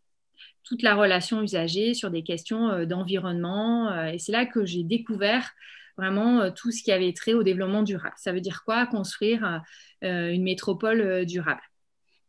Euh, donc, ça a été trois ans euh, hyper intéressants où là, j'ai poursuivi euh, tout ce que j'ai découvert en, matière d'urbanisme, de construction de la ville, mais je me suis intéressée beaucoup aux questions de déchets, d'eau, donc de maîtrise de la ressource. et c'est là vraiment que, enfin, ça a été hyper formateur. Enfin, moi, j'ai beaucoup appris en tant que citoyenne. Et c'est de là qu'est né en fait après euh, tout mon parcours, euh, le reste de mon parcours professionnel. Donc au bout de trois ans, on a changé aussi euh, bah, de président. C'est Alain Rousset qui est devenu président de la communauté urbaine de Bordeaux suite au départ d'Alain Juppé. Et donc dans les, collectivités, c'est toujours très compliqué ces phases de changement de présidence. Vous êtes quand même, quand vous êtes communicant, vous êtes quand même attitré, enfin, même si vous n'avez pas un engagement politique, en tout cas, vous avez accompagné une équipe une équipe euh, et donc vous êtes quand même marqué politiquement. Donc euh, ce passage-là, il a été assez compliqué à, négocier. Mais bon, en faisant preuve de, professionnalisme, euh, bon, bah, ils ont souhaité me garder. J'étais toujours contractuelle, j'avais pas très envie de passer le concours d'attaché à cette époque-là. Et, euh, et puis, bon, j'avais envie, je, voyais comment fonctionnait la communauté urbaine de Bordeaux et j'étais jeune et euh, je me disais, non, mais tu vas pas faire toute ta vie à la communauté urbaine de Bordeaux. Quoi. Il se passe plein de choses dans Bordeaux, ça renaît. Euh, non, euh, tu vas pas rester là, c'est pas possible. Donc, bah, à la fin de mon contrat, au bout de trois ans, je leur ai dit, alors qu'ils me proposaient un autre contrat, sans savoir ce que j'allais faire du tout, je leur ai dit, non, mais bon, bah, je, non, je vais, je vais partir je vais faire autre chose. Donc, dans l'incompréhension euh, de, tous mes collègues.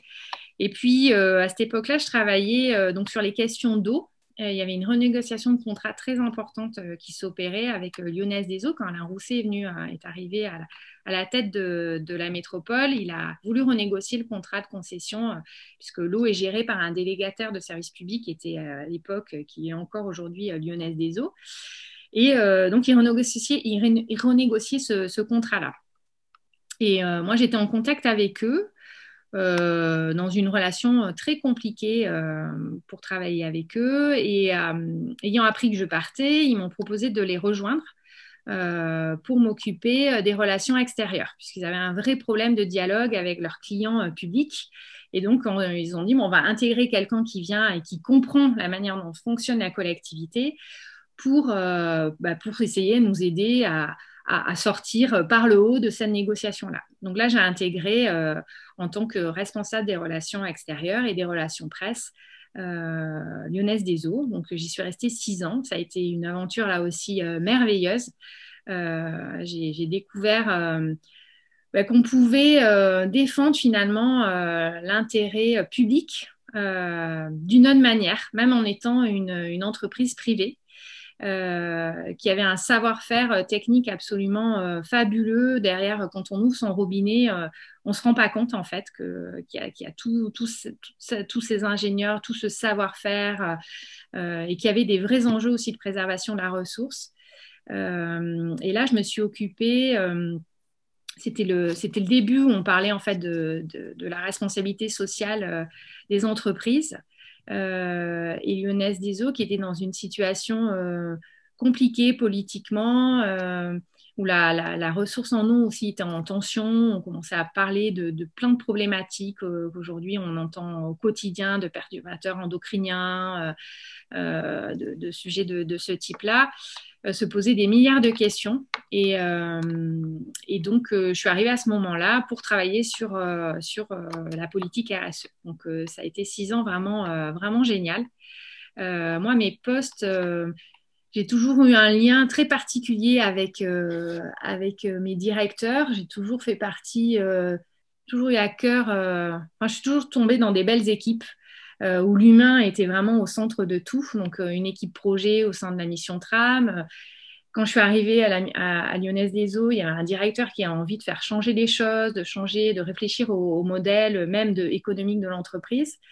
Euh, et donc, je suis très liée aux personnes. Et quand cette personne est partie, euh, bah, il y avait un petit bout euh, de, l'histoire aussi qui partait et, euh, et, je me suis dit non mais j'ai envie de, revivre encore cette histoire, ce, cet effet de, motivation, de dynamique collective. Euh, et, une ancienne de, ma promo euh, du, CELSA euh, qui, était, qui était en poste sur un, grand chantier qui se lançait sur, sur, pour la Nouvelle-Aquitaine, qui était sur la ligne à grande vitesse, a quitté son poste. Elle partait pour, pour d'autres horizons, pour une autre vie ailleurs. Et, et donc, j'ai eu cette opportunité de rejoindre l'ISEA, qui est qui est, euh, qui est l'entreprise euh, concessionnaire euh, de la ligne à grande vitesse entre, entre Tours et Bordeaux, et qui allait démarrer le chantier. Enfin, le chantier démarrait à peine depuis, depuis quelques mois. Et donc, je les ai rejoints pour m'occuper d'abord bah, de toute la, la, partie chantier sur le sud de la ligne, hein, puisque c'est 300 km de chantier. Donc, après avoir vécu quelques kilomètres de ligne de tram euh, dans Bordeaux, là, on mettait le bazar sur 300 km en France, sur euh, trois régions, donc euh, plus d'une centaine de communes, donc un, chantier vraiment XXL. Et là, je me suis occupée assez vite après la phase de chantier J'étais en relation euh, évidemment là encore avec des ingénieurs, avec euh, des, équipes, euh, des équipes travaux, beaucoup d'élus, beaucoup de, pareil d'habitants. je me suis occupée très vite des relations institutionnelles puisqu'il a fallu travailler après préparer la mise en service de la ligne et notamment retravailler sur, en tout cas, faire entendre quels étaient les avantages de cette ligne pour le territoire et notamment en termes de report modal. Aujourd'hui, on entend beaucoup le, cette question d'autant plus avec, euh, le confinement euh, et, puis la paralysie des, aéroports, mais et puis avec la Convention citoyenne, on en a encore beaucoup parlé aussi, euh, de ce report modal vers des, vers des lignes qui, nous permettent en fait de ne plus avoir recours à l'aérien. Et euh, ça, c'est des choses aujourd'hui, des arguments qu'on entend aujourd'hui. Et quand on travaillait sur la ligne euh, de la LGV, c'était des arguments qui n'étaient pas entendables, en tout cas ni par les élus, ni par l'aéroport. C'est-à-dire que faire un Paris-Bordeaux, on construisait la ligne certes, mais on la construisait euh, pour, euh, pour qu'on ait le choix. Euh, mais en tout cas, on ne se disait pas qu'on allait construire la ligne pour ne plus prendre un, Paris-Bordeaux en avion, par exemple. Donc, donc, il y a eu tout ce travail un peu de, lobbying à réaliser. qui m'ont beaucoup, beaucoup plu aussi. et quand j'avais rejoint la, la, ligne à grande vitesse, je m'étais dit, bon, bah, c'est super, c'est un, un, job de quatre ans. Et au bout de ces quatre ans-là, il euh, faudra que tu te décides. Est-ce que tu continues dans la com? J'avais l'impression d'avoir fait un peu le tour. J'avais fait beaucoup, beaucoup de terrain. J'ai visité de super chantiers. Euh, quand Marjorie parlait de la visite euh, euh, de la Cité du Vin, ben, moi c'est pareil. je suis montée avec Younes Desjos, j'ai fait visiter, j'ai amené France Bleu dans les égouts. voilà, avec, avec l'ISEA, on est monté en haut des, grues pour construire le viaduc de la Dordogne. J'ai vécu des expériences vraiment fabuleuses. La com, c'est génial pour ça parce qu'on on, vit plein d'expériences de ce type-là. Euh, mais j'avais le sentiment aussi euh, d'avoir fait un peu le tour de tous les métiers, euh, d'avoir fait du terrain, de la presse, des relations institutionnelles. Et, puis c'est un métier, voilà, on, on, compte pas son temps. on travaille quand même beaucoup, même si on fait des super plans d'action. on travaille beaucoup dans l'urgence.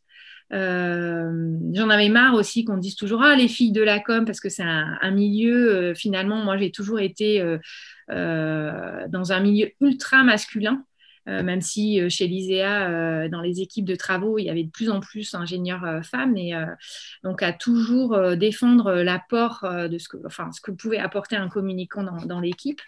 et puis j'avais une envie d'entreprendre de, faire mon métier euh, de manière différente. Moi, j'ai travaillé pourtant que dans des grosses structures, hein, que ce soit public ou privé, mais euh, l'envie de, voilà, de, de, créer quelque chose. Et euh, donc ça, ça me titillait déjà depuis la fin de Lyonnaise des Eaux. Et puis sur le chantier, le chantier de la LGV, bah, je travaillais avec une, une, fille avec qui je m'entendais hyper bien, Audrey, qui est devenue mon associée.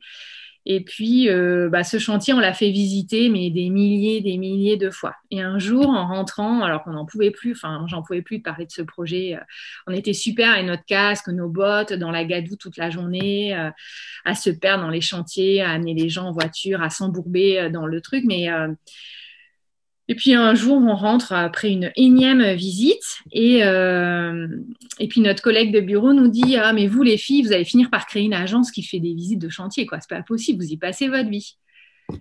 Et puis c'est vrai que quand même, euh, on avait. Euh, on, a rencontré plein de beaux, enfin de, de, groupes qui venaient sur notre chantier, mais qui venaient sur notre chantier parce qu'ils connaissaient un tel qui leur disait ah ben oui pour visiter le chantier il faut appeler Bidule, qui Bidule nous appelait. Et puis quand on recevait ces gens en visite, ils nous disaient ah c'est super, euh, voilà tout le monde devrait pouvoir visiter un chantier comme ça. Et puis ils nous racontaient toutes les belles visites qu'ils avaient réalisées. Et à chaque fois, on se rendait compte que ces visites-là, euh, eh bien ils avaient pu le faire, ils avaient pu visiter ces sites parce qu'ils disposaient d'un réseau. Et donc on trouvait ça euh, complètement injuste. Et c'est de là qu'est née en fait l'idée de, de, créer comme une visite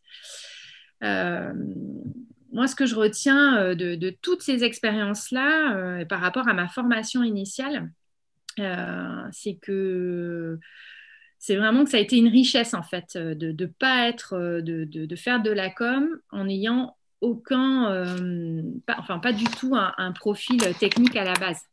C'est-à-dire que même si euh, c'est pas facile à, vivre au quotidien, j'ai toujours été la grande naïve, euh, mais dans le bon sens. C'est-à-dire que euh, je pense que mes, mes, études de lettres m'ont permis de, questionner, de mettre en perspective. Fait beaucoup ce travail-là, en fait, de savoir ce qu'a voulu dire l'auteur, le point de vue. Et cette question du point de vue, pour moi, elle a été centrale dans toutes mes, dans toutes mes expériences professionnelles. C'est-à-dire que quand l'élu parle, c'est de son point de vue d'élu. Quand l'habitant y parle, c'est de son point de vue. L'ingénieur, c'est son point de vue. Et nous, en tant que communicants, ben voilà, c'est toutes ces parties prenantes qu'il faut qu'on prenne en compte. Et quand on s'adresse et quand on doit délivrer un message, euh, c'est à ça euh, qu'il faut, euh, faut prêter attention. et donc moi j'ai adoré, j'adore en fait travailler sur cette question de la construction, de la déconstruction. Et ça, je crois que vraiment c'est vraiment ma formation qui, qui m'a appris ça. Euh, voilà, qu'est-ce que je pourrais vous dire d'autre sur, euh, euh, nos métiers? Enfin, je rejoins Marjorie complètement sur cette question de la création de contenu.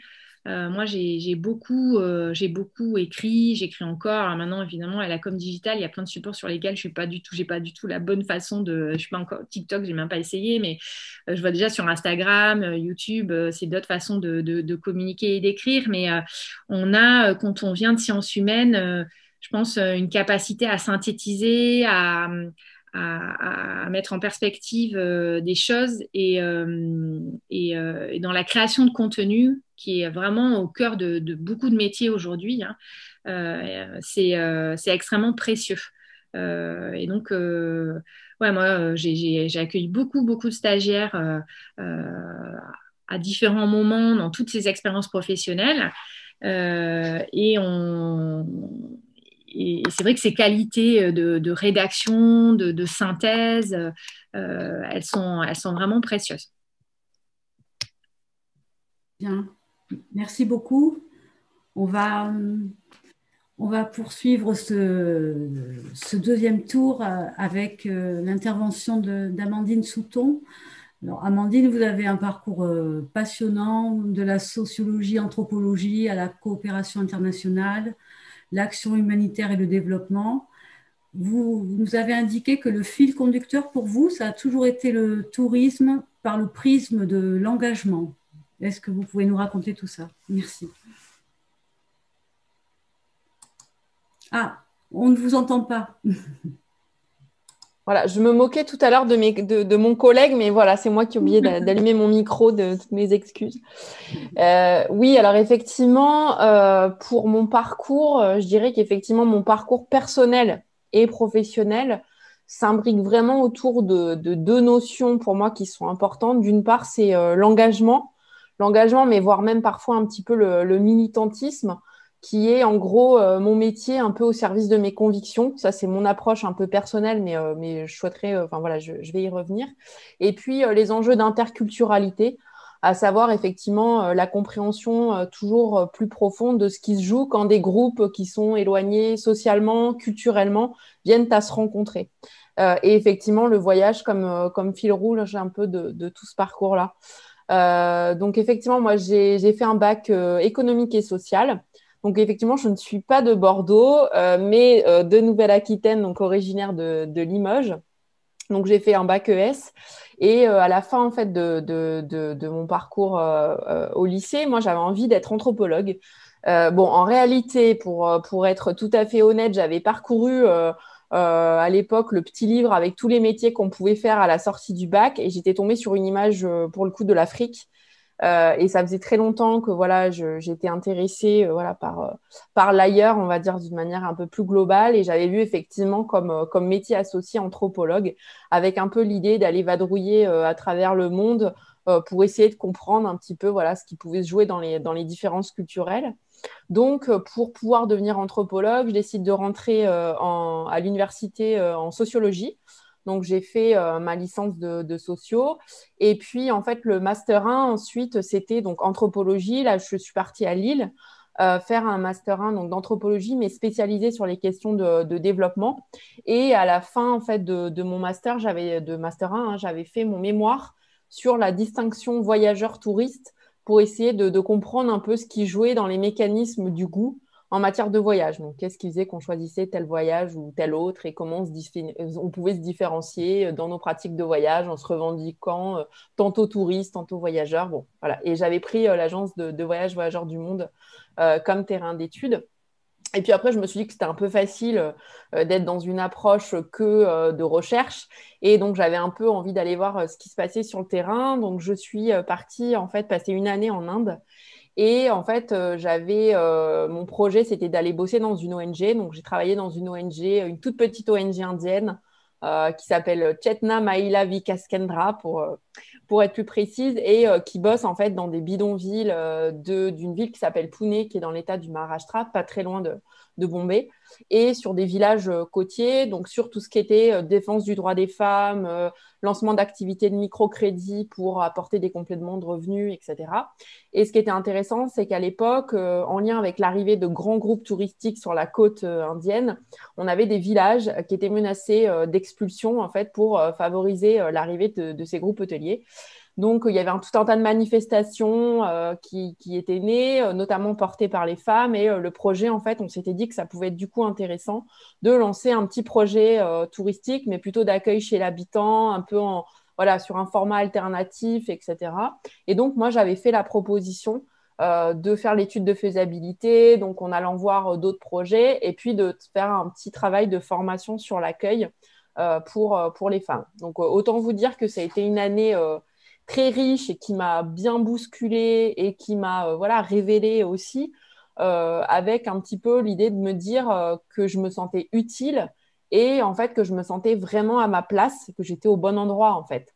Donc à, la fin de cette année en Inde, je, je, décide de rentrer. Effectivement, je postule pour des Master 2 et je rentre donc dans un master 2 euh, en sciences politiques euh, à Paris, euh, spécialisé donc à, la Sorbonne, spécialisé en coopération internationale, action humanitaire et politique de développement. Sur les Master 2, donc effectivement, on avait un entretien. Et c'est vrai que le fait d'avoir passé une année à l'étranger, d'avoir pu être un peu, on va dire, sur le terrain, c'est vrai que c'est aussi ça qui m'a permis de, de faire la différence parce que c'est vrai que j'avais autour de moi beaucoup de gens qui avaient fait Sciences Po, enfin qui sortaient aussi euh, euh, voilà d'autres parcours. Donc euh, je faisais partie aussi de celles qui venaient d'un autre d'un parcours plutôt universitaire, filière plutôt sciences humaines, etc. Mais je sais aussi que ça c'est aussi le fait d'avoir eu cette année un petit peu ailleurs qui m'a qui m'a permis aussi de rentrer dans le dans la formation. Donc là c'est une année très riche en émulation. Enfin l'année de master 2 moi, j'ai trouvé que c'était vraiment très, très intéressant. Et à l'issue de mon Master 2, j'ai fait un stage dans une ONG euh, à Paris qui s'appelle le Comité catholique contre la faim et pour le développement. Et là, en fait, euh, je me retrouve dans le département du plaidoyer. Euh, donc, c'est une approche, encore une fois, un peu militante aussi hein, de, de, la partie ONG qui est déjà un peu militante. Mais là, notre but, c'était de monter une campagne pour sensibiliser les grands groupes touristiques à leur impact sur le terrain. Euh, donc là, pour le coup, on avait pris comme terrain euh, le Maroc. Donc j'ai fait des études d'impact euh, sur l'impact du tourisme et de ces grands groupes au Maroc. Et puis essayer de voir comment on pouvait inciter ces grands groupes à avoir des pratiques un peu plus respectueuses. On a parlé tout à l'heure de, responsabilité sociétale des entreprises, etc. Donc on est effectivement sur ce, sur ce créneau-là. Ce qui est vraiment intéressant pour moi aussi de dire, c'est qu'en parallèle de tout ce cursus un peu bah, universitaire, moi, j'étais très engagée aussi au niveau associatif. Donc en fait, été rentrée dans une asso, euh, on avait, euh, on travaillait alors sur ces questions de tourisme, on avait développé des cartons rouges en fait où on dénonçait sur internet des, faux projets de tourisme durable, un peu qui faisaient du greenwashing. Donc on écrivait des articles un peu militants, mais qui permettaient aussi de, de, se positionner. Et puis à la fois, on avait aussi une, enfin, on faisait une proposition euh, de présenter sur un site des initiatives plutôt alternatives à travers le monde pour permettre à des gens qui avaient envie de partir euh, sac à dos d'avoir des lieux un peu euh, innovants sur des enjeux de, durabilité dans lesquels ils pouvaient aller. Et donc, c'est vrai que je trouve que cette émulation associative, de, voilà, de rentrer dans les, dans les rouages d'une asso, de comment ça fonctionne, d'animer des bénévoles, de monter des projets, je trouve que ça participe vraiment aussi de notre formation en plus en fait de ce qu'on peut faire dans le cadre de nos études. Et je sais aussi que ça, c'est des choses qu'on peut valoriser euh, aussi dans le cadre de nos profils, euh, quand on postule sur un stage, quand on, profile, quand on postule aussi pour un, emploi. Voilà, à l'issue euh, donc de, ce stage, je postule en fait et je suis recrutée dans le cadre d'un dispositif un peu particulier de recherche-action mais pour un collectif de, voyagistes, donc de, structures qui, vendent des voyages, qui s'appelle l'ATES, donc l'Association pour le tourisme équitable et solidaire. À l'époque, c'est une vingtaine de structures qui proposent donc du voyage à l'international, des séjours basés plutôt sur de la randonnée, euh, de l'hébergement chez l'habitant, dans une approche de co-construction des séjours avec euh, les partenaires qui sont sur le territoire, plutôt dans des zones pas très touristiques, même si on profite quand même de l'attrait euh, de, certains, de certains lieux dans les voyages. Hein. Et donc, mon boulot, c'est de euh, développer un label en fait de, tourisme équitable et solidaire en partenariat euh, avec donc les partenaires en France, mais aussi sur le terrain, et de développer un peu des études d'impact pour essayer de voir ben, ce que cette forme de tourisme peut apporter hein, dans les localités dans lesquelles on va. Donc là, c'est euh, une expérience qui est très, très riche. je me retrouve à faire de la recherche, mais appliquée. Donc, euh, mener des enquêtes de terrain avec une approche socio-anthropologique, euh, euh, et puis voilà, d'avoir l'impression en tout cas que, mon action, que mes retours de terrain permettent en fait d'améliorer et de, faire en sorte que les séjours qu'on monte, ils soient plus proches des attentes de nos voyageurs, mais aussi qui contribuent vraiment au développement local. Donc là, je passe euh, à peu près quatre ans où je suis six mois de l'année euh, en France et six mois de l'année euh, à l'étranger. Donc essentiellement Maroc, Afrique de l'Ouest, donc Burkina Faso, Mali, Sénégal, Inde et Pérou. Donc c'est vrai que c'était le, tour du monde, mais c'était voilà, bon, c'était une chance d'avoir ce boulot qui pouvait me permettre vraiment de conjuguer euh, ben, en fait, à la fois euh, mes, compétences professionnelles, mais aussi mes vraies convictions euh, voilà, sur, cette forme, sur ces formes de voyage. Même si c'est pas toujours évident, justement, d'être sur un boulot et un travail militant, parce que effectivement, moi, les horaires de travail, je n'ai jamais connu. j'ai toujours été voilà, à travailler un peu n'importe quand, n'importe. Enfin, voilà, le but étant de pouvoir aller un pas de plus vers ce qu'on voulait défendre comme valeur, euh, etc. Vous allez voir que ça ne va pas toujours être le cas dans mon, dans mon parcours, mais c'est important de, le dire et ça constitue en tout cas mon parcours aussi euh, personnel.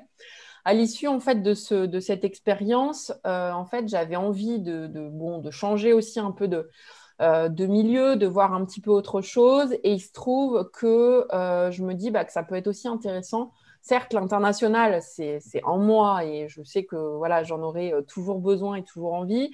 Néanmoins, je me dis que c'est aussi intéressant de, voir un petit peu ce qu'on peut faire sur, euh, bah, sur son pays.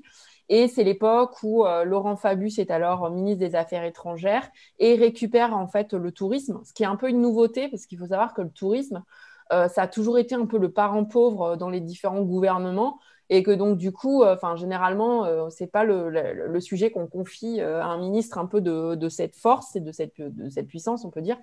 Donc en gros, à ce moment-là, le tourisme est récupéré aux affaires étrangères et donc on crée une mission tourisme. Et moi donc je postule sur un poste au ministère des Affaires étrangères. Autant vous dire que je pensais jamais être prise. mais voilà, je me lance et effectivement, donc je suis recrutée sur un poste euh, initialement de, rédacteur, donc on rédige beaucoup, et puis rapidement, enfin, au bout de deux ans, je suis passée chef de pôle euh, sur tous les enjeux internationaux, donc je m'occupais à la fois de la politique d'attractivité touristique de la France, mais aussi de toutes les coopérations internationales qu'on pouvait monter en matière de tourisme, le soutien à l'export de nos entreprises, euh, voilà, la représentation de la France dans les organisations internationales du tourisme. Enfin, c'était assez large. Et bien sûr, le, travail, c'est de préparer en fait toutes les fiches de manière un peu synthétique, concise, etc. Toutes les fiches qui sont utiles à, nos ministres, en fait, pour pouvoir euh, faire leurs entretiens, leurs discussions, etc. Et euh, effectivement aussi tous les documents dont ils ont besoin quand ils partent en déplacement. Et euh, voilà, ils ont besoin de savoir exactement en un recto verso tout ce qu'il faut savoir sur le contexte d'un pays, les enjeux touristiques, les grands chiffres, les entreprises qu'il faut pousser, enfin voilà. Et là, c'est une expérience très riche. Je me retrouve dans un dans un milieu euh, social, culturel, économique qui n'a rien à voir avec de là euh, d'où je viens, avec des gens autour de moi avec qui effectivement on n'a pas les mêmes parcours, on n'a pas non plus les mêmes milieux sociaux. Euh, donc c'est vraiment une, c'est vraiment quelque chose de très très intéressant et surtout j'apprends beaucoup et notamment en termes de méthode de travail, en termes de d'efficacité parce qu'effectivement on est tout le temps dans un travail d'urgence on, est, on doit répondre aux commandes. on, appelle ça des, commandes, mais effectivement des commandes qui, peuvent tomber à n'importe quel moment de la journée, voire même le vendredi soir parce que le ministre a été interpellé. Donc, on apprend d'autres façons de faire, on doit être très synthétique, on doit voilà. Donc, euh, mais néanmoins, tout mon background euh, d'avant me permet en fait de le faire. Et même si parfois je dois aussi moi-même faire des, euh, écarts importants entre mes convictions, ce que je suis censée défendre, enfin c'est pas toujours évident, mais en tout cas ça a été très très riche.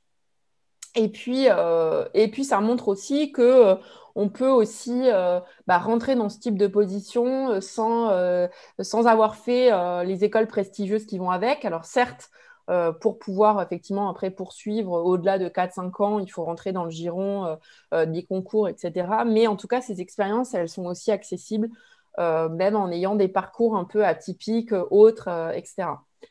Et puis, euh, peut-être pour, euh, pour finir, et le lien avec le CRT, donc euh, à la fin de, bah, cette expérience-là, bah, mon souhait, c'est encore d'aller un peu plus loin dans, bon là, c'était très bien, c'était très macro, c'était très, c'était très intéressant, mais néanmoins, on est quand même un peu loin du terrain.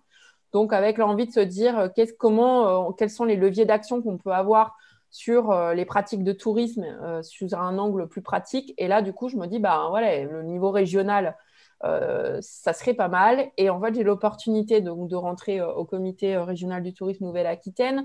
Ça fait sens. D'une part, ben, c'est la région qui m'a vu naître, donc je, je viens de Limoges.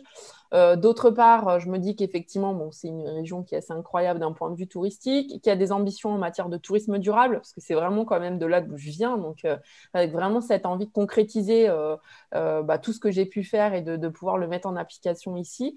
Et puis, et puis aussi, mon souhait aussi de partir de Paris, on ne va pas le, nier, je suis devenue maman, envie aussi d'avoir un cadre de vie qui ressemble aussi un peu plus à ce que je désire, parce que bien évidemment, nos parcours professionnels sont liés avec nos évolutions aussi euh, personnelles. Et, voilà, et donc j'intègre le, comité régional du tourisme. Alors là, euh, pareil, hein, grand changement, euh, pas du tout les mêmes méthodes de travail, euh, pas du tout le même fonctionnement au niveau des équipes, avec aussi une approche, et ça, je, parfois, enfin, pas toujours, même pas forcément militante hein, du tourisme, aussi des, des gens qui. On a tout type de, de, de profils aussi dans nos structures, mais je veux dire, moi qui venais d'un milieu très militant, petit à petit, en rentrant dans le public, on a aussi des gens pour qui, ben, effectivement, c'est c'est aussi leur métier. Euh, moi, je sais que parfois, ça peut être des choses sur lesquelles euh, je, suis, euh, je suis, j'ai mis du temps en tout cas à m'adapter. Mais néanmoins, on mène quand même pas mal d'actions intéressantes. Le lien avec le, les partenaires sont super intéressants. On se heurte aussi aux problématiques des politiques locales. C'est pas non plus toujours évident. Mais par contre, aujourd'hui, ce qui est chouette, c'est vraiment euh, la possibilité qui m'est donnée de pouvoir retravailler sur des sujets de tourisme durable. On a vocation à être la première destination touristique durable au niveau français. Donc là, euh, et puis la crise aujourd'hui qu'on rencontre associée à, euh, la Covid, eh bien, en fait, renforce aujourd'hui bah, le souhait de nos politiques et de nos professionnels de se tourner vers ces pratiques-là. Donc ça aura mis du temps et parfois bah, c'est triste parce que c'est aussi ces événements de crise qui renforcent en fait ces, aspirations-là. Mais aujourd'hui, on est effectivement en train d'essayer de voir comment euh, bah, sur notre région, on peut développer aussi des offres qui s'inscrivent dans tout ça. Donc voilà, bon, pour finir, je ne vais pas euh, rester plus longtemps parce que on a, euh, si on voulait avoir un peu de temps pour répondre aux questions, mais moi, ce qui, ce qui, marque vraiment mon parcours, en tout cas, c'est que j'ai jamais pu concevoir, et j'y arrive encore pas aujourd'hui, euh, d'un côté mon métier, d'un côté euh, mes engagements, ma passion, ma vision de la société. C'est-à-dire que pour moi, les deux sont vraiment imbriqués. J'ai vraiment envie d'avoir un métier qui puisse me permettre de faire vivre mes convictions et de pouvoir en tout cas euh, essayer de faire bouger à mon propre niveau Hein, on dit toujours le petit colibri euh, qui est dans la forêt, il y a le feu et euh, le petit colibri qui amène de l'eau et on lui dit mais petit colibri, tu vois bien que tu as un tout petit bec, c'est pas toi qui vas éteindre la forêt. Et lui répond oui mais je fais ce que je peux à mon propre, à mon propre niveau. Ben, moi j'ai un peu cette sensation qu'on peut tous à notre propre niveau faire bouger les lignes sur la société qu'on a envie de porter. Et, sur les choses qu'on a envie de faire avancer. Et, et, voilà. Et pour moi, du coup, mon, mon principal euh, challenge, c'est d'arriver toujours à concilier les deux et de faire avancer un peu, euh, bah voilà, à la fois euh, les enjeux de carrière, mais aussi toujours avec, avec ce qui est au cœur de nous et de ce qu'on est et de ce qui nous motive à nous lever le matin parce qu'en réalité, on y passe beaucoup de temps au travail. Donc, autant de faire quelque chose qui nous, qui nous motive et qui, voilà, qui nous fait sourire. Donc voilà un peu le, le, résumé de mon parcours. Et puis peut-être pour finir, de dire aussi que, bah, c'est le travail que, qui, qui, permet aussi tout ça, qu'on peut venir de, milieux euh, sociaux différents, on peut venir euh, d'ici, d'ailleurs, etc. Mais que en fait, euh, par le travail, par, par la rigueur et puis par la motivation, on peut arriver à faire aussi pas mal de choses. Et donc, voilà, c'est un peu le message que j'avais envie de faire passer. Merci. Merci beaucoup. Merci pour la richesse de tous vos parcours. Alors, effectivement, il est 19h23. Je me demande, est-ce qu'on aborde euh, vite fait l'emploi pour chacun, vos conseils pour l'emploi et le stage, chacun votre tour, et puis on passe aux questions. Elodie, Oui, bien sûr, en sachant que, vous savez, euh, euh, Madame Marjorie Mathieu doit partir à 19h30. Je vais essayer de pousser un petit peu. Je me suis arrangée. Je pense que jusqu'à moins le quart, 50, ça devrait passer. C'est gentil. Mais on commence par vous, si, si vous voulez.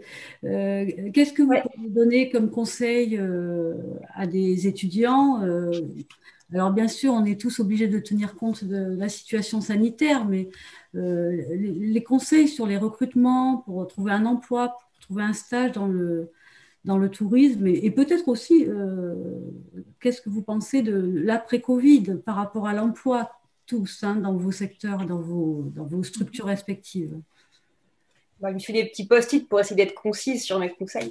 Mais, euh, euh, bah ouais, alors, mais déjà sur la partie euh, Covid, c'est vrai que c'est pas simple parce que autant je pense qu'il y a des structures qui, je parle des stages déjà dans un premier temps, qui pourront recruter quand même, autant d'autres ne pourront pas alors qu'ils le font chaque année parce qu'en fait, bah, nous, typiquement à la Cité du Vin, pour clarifier le sujet, euh, on bosse toujours en chômage partiel ou en activité partielle. Donc, euh, toutes les équipes, on est en gros à, entre 30 et 70% suivant les directions et les personnels, de travail. Donc, ça veut dire que si nous, déjà, on ne travaille pas à temps plein, bah, il y a très peu de chances qu'on puisse prendre des stagiaires parce qu'il faut les encadrer.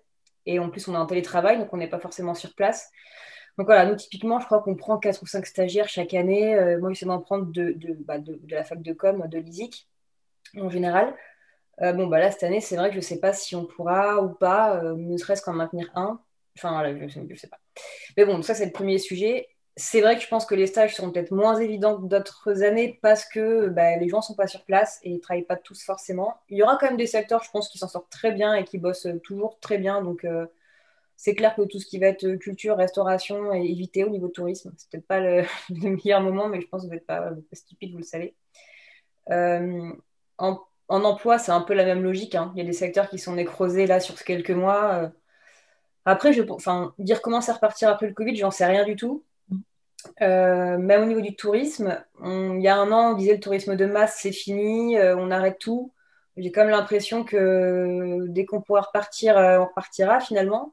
Donc, bon, je ne sais pas. Je ne me dis pas que les avions vont tous s'arrêter d'un coup, que le low cost va s'arrêter, que dès qu'on aura tous notre passeport vaccinal ou je ne sais quoi, on repartira tous à New York si on peut, ou à la Cité du Vin à Bordeaux, ou à Limoges, ou je sais pas où, pour aller se passer du bon temps. Voilà, je ne sais pas.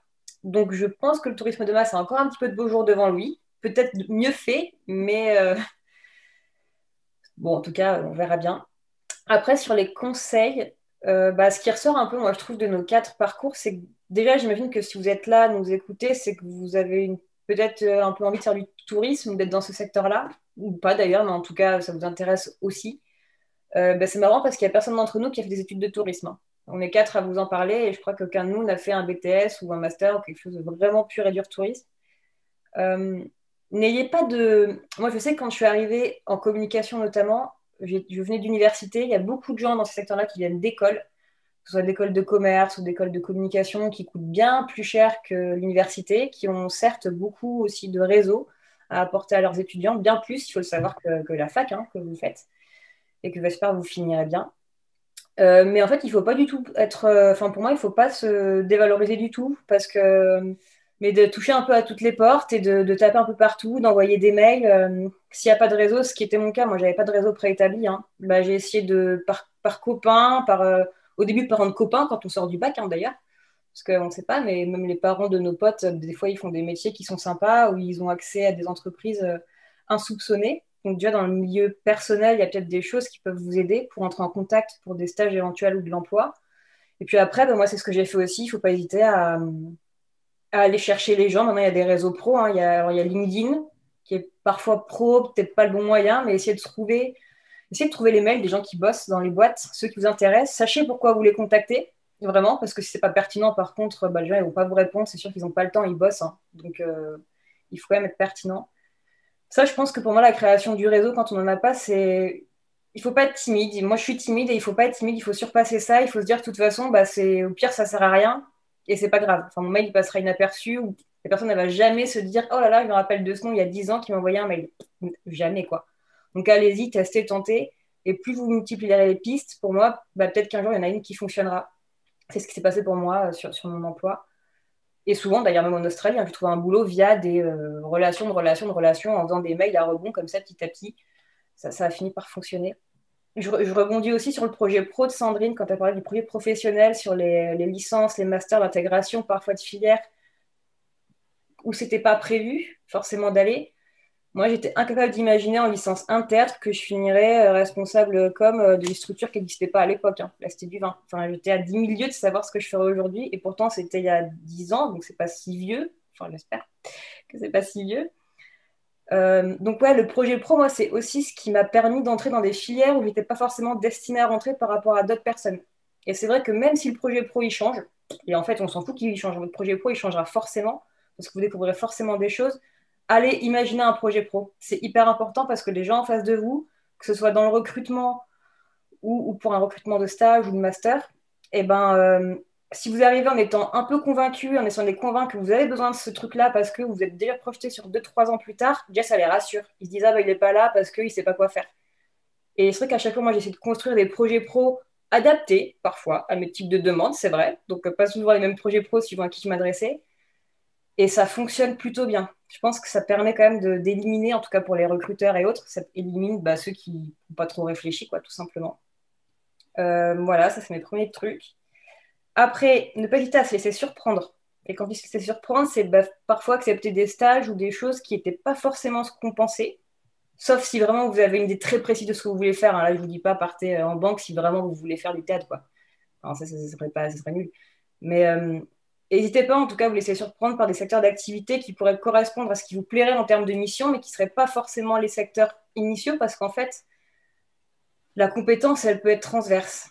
En France, c'est hyper compliqué parce qu'on a cette notion d'étiquette très présente. C'est pour ça que moi, j'ai voulu la casser. Alors après, ça dépendra des gens qui vous parleront. Moi, je pense qu'on a toujours ça en France et que j'aurais fait que du culturel dans mes stages. Ça aurait été super difficile derrière, peut-être de trouver euh, d'autres types de boulot. J'ai élargi parce que moi, je voulais m'enrichir. Il y a d'autres gens qui vous diront à trop diversifier, on ne sait plus euh, ce que la personne veut. Ça, c'est à vous de voir et à voir comment vous, vous vous sentez par rapport à ça. L'important, c'est de pouvoir justifier pour moi ces choix, en fait. Si on, tente, on trouve forcément quelque chose de bien une fois qu'on a tenté et qu'on le fait, et on peut le justifier d'une certaine façon et d'une façon positive. C'est voilà, pour moi, c'est juste cette chose-là, se laisser surprendre. Euh, pas hésiter à contacter par mail les gens euh, et avec une vraie question, des, vraies demandes très précises. Ça, c'est, euh, moi, je trouve ça intéressant. Surtout si on n'a pas de réseau à la base, bah, il faut s'en créer un petit à petit. Il n'y a pas de honte et c'est tant mieux.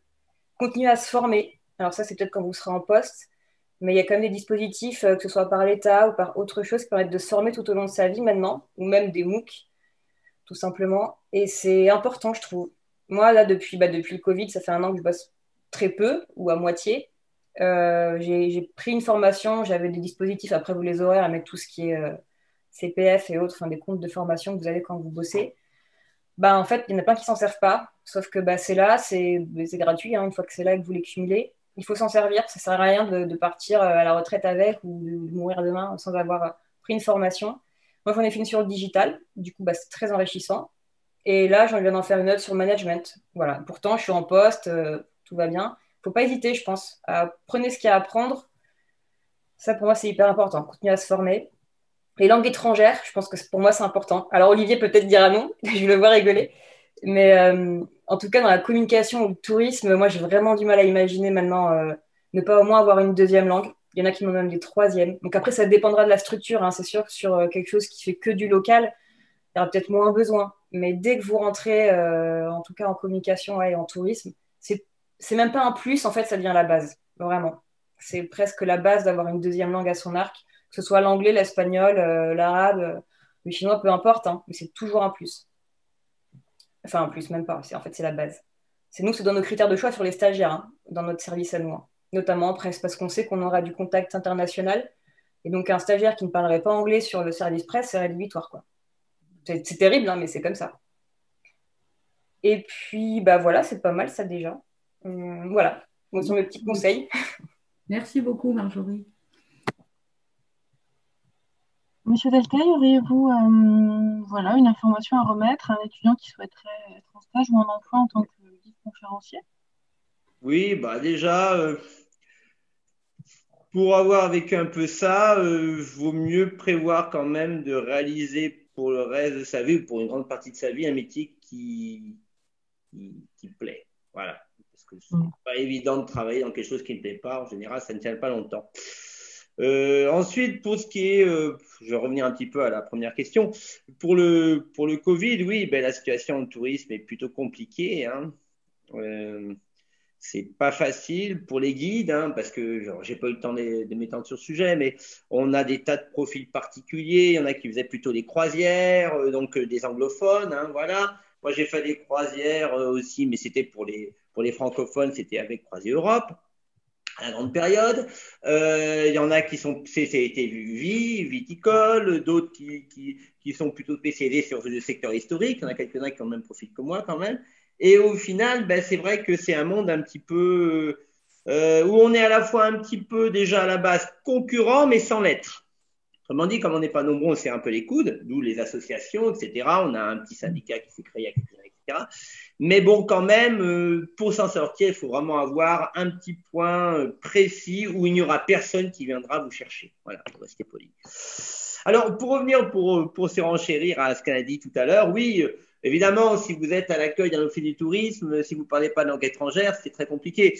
Je, je, vous rassure tout de suite, mon profil n'est pas le plus répandu, hein, voilà, mais c'est bon. J'ai pris de telle manière, j'ai pris un virage de telle manière que je suis hyper spécialisé dans un secteur où je n'ai pas beaucoup de concurrents.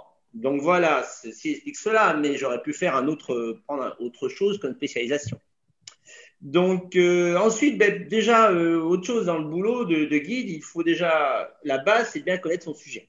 Alors, euh, je ne vais pas évoquer les, les free tours, les machins, les concurrents indirects, plus ou moins autorisés, pas vraiment chassés, ça c'est notre histoire voilà, même si on a des privilèges, nous seuls, théoriquement, ceux qui sont cartés, avons le droit de guider dans les musées, etc. Même si, bon, chacun fait un peu à sa sauce pour des raisons euh, financières, des fois. C'est une autre histoire aussi. Mais euh, connaître son sujet, c'est primordial quand même. Que, que, même si vous faites de l'anglophone, même s'il n'a pas la culture française de base, entre guillemets, euh, si je compare les gens qui viennent me suivre en visite et celles ou ceux des collègues qui font les anglophones, moi, je ne suis pas obligé d'expliquer ce qu'est un attendant. Ils vont comprendre tout de suite. L'anglais, vous lui dites attendant, il comprend rien parce que ça n'a pas une signification, par exemple. Donc, c'est des métiers qui, c'est un métier qui a une formation de base, mais qui a des spécificités qui ne se rejoignent pas au final. Donc, le métier de guide, il est très complexe, très multiple. Le tout pour achever un petit peu la planification, c'est de trouver sa voie. Voilà, si vous voyez que, comme moi, vous, la langue, vous vous endessez complètement et que vous ne supportez pas une certaine catégorie de clientèle, d'autant plus, inutile d'aller chercher rester longtemps et vous développer autre chose. Vous êtes plus fort. Bon, moi, euh, c'était pas trop dur, histoire, archive, machin, ça a été vite fait, hop, hop. Bon, et petite histoire amusante, j'avais, j'ai un père qui était dans l'otaria et j'ai ma mère qui était artiste peintre. J'ai toujours un sur la corde raide pour rester poli. Mais bon, ça correspondait à mon caractère. Mais si vous êtes plus doué en langue, mais peut-être dirigez-vous plus vers un métier où vous utiliserez vos langues, quitte à être guide pour une certaine partie clientèle. Alors évidemment, euh, on est obligé de revenir au Covid. Pour le moment, ce n'est pas la joie et la bonne humeur. Hein. Je pense que c'est plutôt mon secteur qui repartira en premier. Euh, c'est bien compréhensible, mais ça devrait repartir un jour quand même. Et le, le tourisme de masse qui devrait disparaître, non, il ne disparaîtra pas, il va se transformer, il va s'adapter parce qu'on s'est aperçu aussi qu'il provoquait beaucoup de dégâts, hein, voilà, notamment sur certains sites, la conservation, etc., la qualité des visites aussi. C'était un peu du n'importe quoi, il y avait des fois. Donc il y a des choses à reprendre. Euh, autre chose à savoir, c'est que le métier de guide demande une grande disponibilité. Vous n'êtes pas dans un bureau. Voilà, c'est simple. Hein, je n'ai pas eu le temps de l'évoquer tout à l'heure, mais euh, vous devez être à 8h, 8h30, euh, tapante à l'hôtel vous finissez à pas d'heure, donc vous oubliez souvent, euh, voilà, euh, tant que le métier, tant que c'est pas fini, vous n'êtes pas rentré, ben vous n'êtes pas là, vous n'êtes pas chez vous. Si bien qu'il y a des fois, ça peut poser quelques problèmes hein, quand on prévoit des choses et qu'on ne peut pas le faire. Les week-ends, vous l'oubliez aussi. Théoriquement, si vous tournez, les week-ends sautent. Quant aux vacances, si vous n'êtes pas dans une structure assez importante, eh bien là, vos vacances, ben, vous les posez à l'avance, c'est très très compliqué parce que les, les, mois de vacances, c'est quand même là où c'est assez tendu, avec certains mois comme septembre et voire même octobre. Il y a une belle saison en général. Bon, cette année, c'est un peu exceptionnel, ça n'a pas vraiment existé. Donc, euh, c'est un métier compliqué où il faut se donner à fond, il faut être compétent. Donc, au final, ça a un petit côté, euh, on va dire, euh, de vacances. Hein. D'ailleurs, certains nous croient toujours qu'on n'est pas diplômé, hein, pour rester poli, mais ils sont de moins en moins, heureusement pour nous. Mais c'est un métier exigeant. Donc, euh, avant de se lancer, il faut bien réfléchir euh, aux, contraintes et aux bons côtés. Euh, ceux qui font des voyages sur 2-3 jours, ils sont logés à l'hôtel et bon, bah, on est obligé de s'occuper un peu des clients, mais après, vous faites ce que vous voulez et vous les prenez que le matin, par exemple, voyager en même temps. Donc, il y a, il y a à la fois les aspects positifs ou négatifs. Voilà, donc il faut bien mesurer le pour et le contre. Enfin, dernière chose, pour la vie de famille, être guide, c'est pas top quand même. Hein, je, dire. C'est pas, voilà, y a, il faut, il faut, si vous êtes deux, il faut qu'il y en ait un qui s'occupe quand même, si vous n'êtes pas présent, de, ben, de l'intendance. Hein, donc, ça soit l'homme ou la femme, c'est un peu compliqué. Donc voilà, c'est un métier assez particulier. Voilà. Mais bon, très très agréable au demeurant. Et ceux qui veulent le faire, ben, ne vous inquiétez pas, ça va bien repartir un jour. Hein. La folie Covid ne va pas durer toute la vie, on espère, parce que sinon je serais mal bien avant, au niveau financier. Merci, Monsieur Daltaï. Alors, vous savez, euh, Madame Marjorie Mathieu et Madame euh, Amandine Souton euh, partent dans 10 minutes, dans 5 minutes. Donc, nous allons donner la parole à Amandine Souton. vous avez des informations à nous remettre sur le stage, je crois. Oui, merci. Désolée hein, de devoir partir un petit peu plus tôt. Non, simplement, ben, effectivement, on ne va pas redire les mêmes choses, mais le, secteur aujourd'hui est, lourdement impacté, donc on attend avec impatience le fait de, pouvoir réouvrir et que les circulations puissent se faire. Euh, mais moi, je suis effectivement persuadée que, ça repartira et que de toute façon, voilà, il y a cette soif un peu euh, globale de pouvoir euh, repartir à la découverte des territoires, de se rencontrer, etc. Néanmoins, je pense que les tendances, alors effectivement, on a du mal à les voir, mais il y aura forcément des tendances un peu de fond. Peut-être que ça repartira avant, mais j'y crois pas totalement. Je pense que dans tous les cas, il y aura eu des apprentissages suite à, cette période et on sera aussi sur des offres plus locales, plus, qualitatives, plus durables aussi. De toute façon, il y a aussi des urgences qu'on ne peut pas nier. Euh, si elles ne sont pas économiques, elles sont aussi euh, climatiques aussi aujourd'hui. Euh, donc, ça fait partie aussi des enjeux. Et je crois vraiment que vous avez, en tout cas, les personnes qui sont intéressées par le tourisme, une place à jouer sur ces nouveaux enjeux, sur la préparation de ce tourisme, sur ce tourisme d'après. Donc, c'est vrai qu'il va falloir faire preuve de courage, d'audace, d'envie, mais on a besoin de gens pour, penser ces innovations. Euh, pour penser aussi ce, tourisme de, proximité, travailler sur les mobilités douces, tout à l'heure on en a parlé, travailler sur de l'aventure mais à côté de chez soi. Enfin, voilà, on a besoin aussi de repenser euh, de nouvelles pratiques et on a besoin de vous, de, votre génération aussi pour accompagner tout ça. Donc euh, moi j'ai envie de dire que pour ceux qui sont motivés, il y aura aussi des choses à faire. alors moi je voulais juste dire qu'effectivement au niveau du, comité régional du tourisme, on continue à pouvoir recruter des stagiaires. Alors, moins qu'avant, mais on le fait toujours. Et justement, je voulais juste apporter un petit témoignage pratico-pratique, mais à titre d'exemple, on a. Alors, c'est vrai que souvent, on recrute plutôt à partir du Master 1.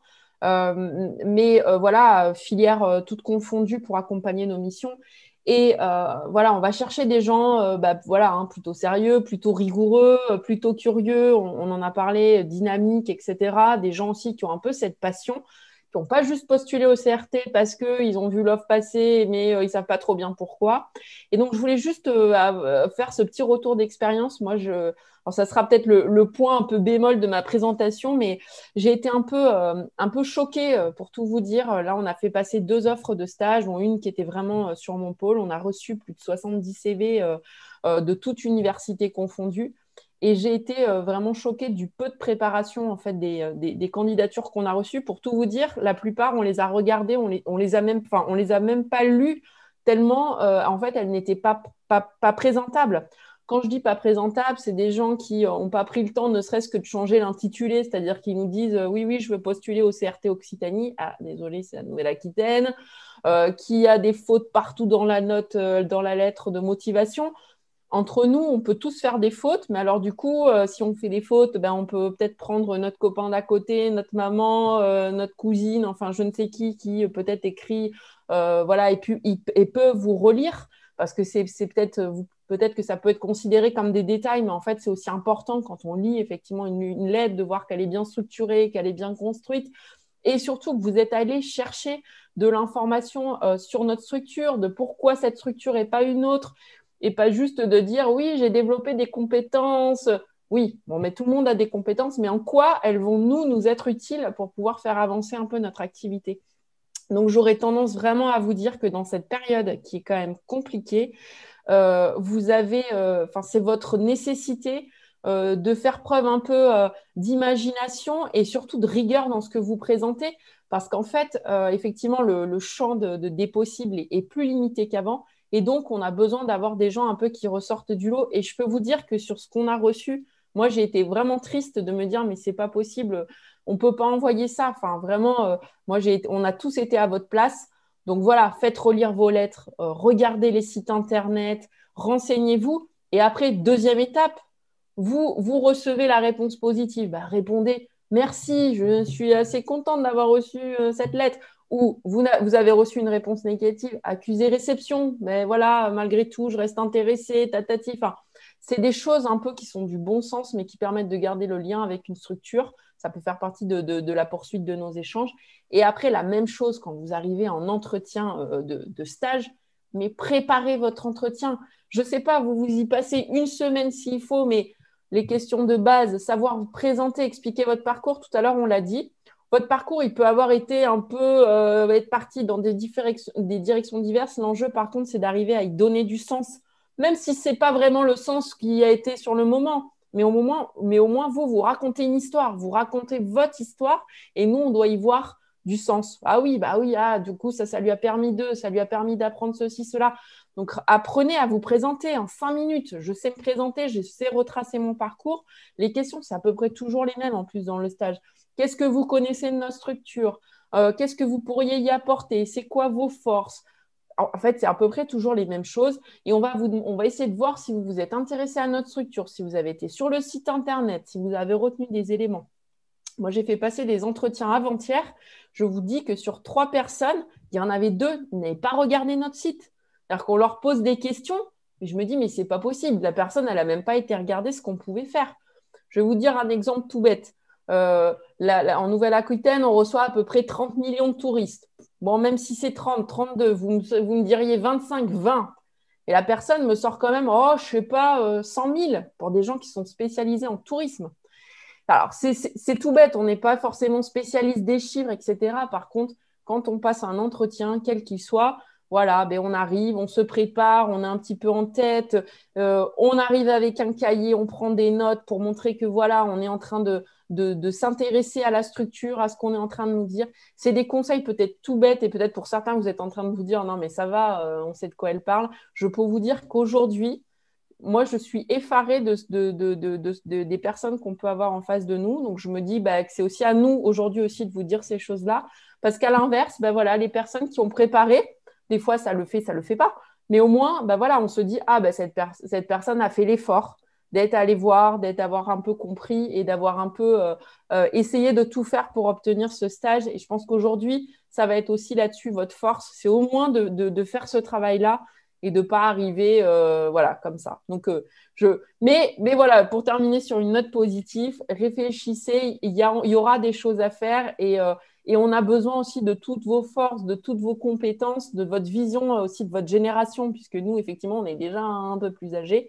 Et, euh, euh, et, voilà, et donc, il euh, faut y aller et il y aura de la place pour l'après. Mais enrichissez-vous, allez regarder à côté, engagez-vous au niveau associatif dans votre quartier. Faites des choses qui complètent votre parcours, qui permettra aussi de vous démarquer aussi dans, de, dans vos futures propositions. Voilà. Je, je, vous remercie. Merci, beaucoup, Amandine. D'autant que tout ce que vous venez d'évoquer, ils peuvent aussi le trouver en venant nous voir à la DOSIP. Hein, les préparations d'entretien, le conseil à la candidature.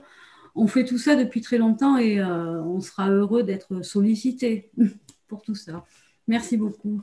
Merci, je dois, vous quitter, mais merci mm. beaucoup à tous et bon courage pour cette période que qu'on sait euh, difficile. Voilà. Merci infiniment. Merci. Au revoir. Bonne soirée à vous. Au revoir. J'en profite aussi, euh, je vais devoir vous laisser.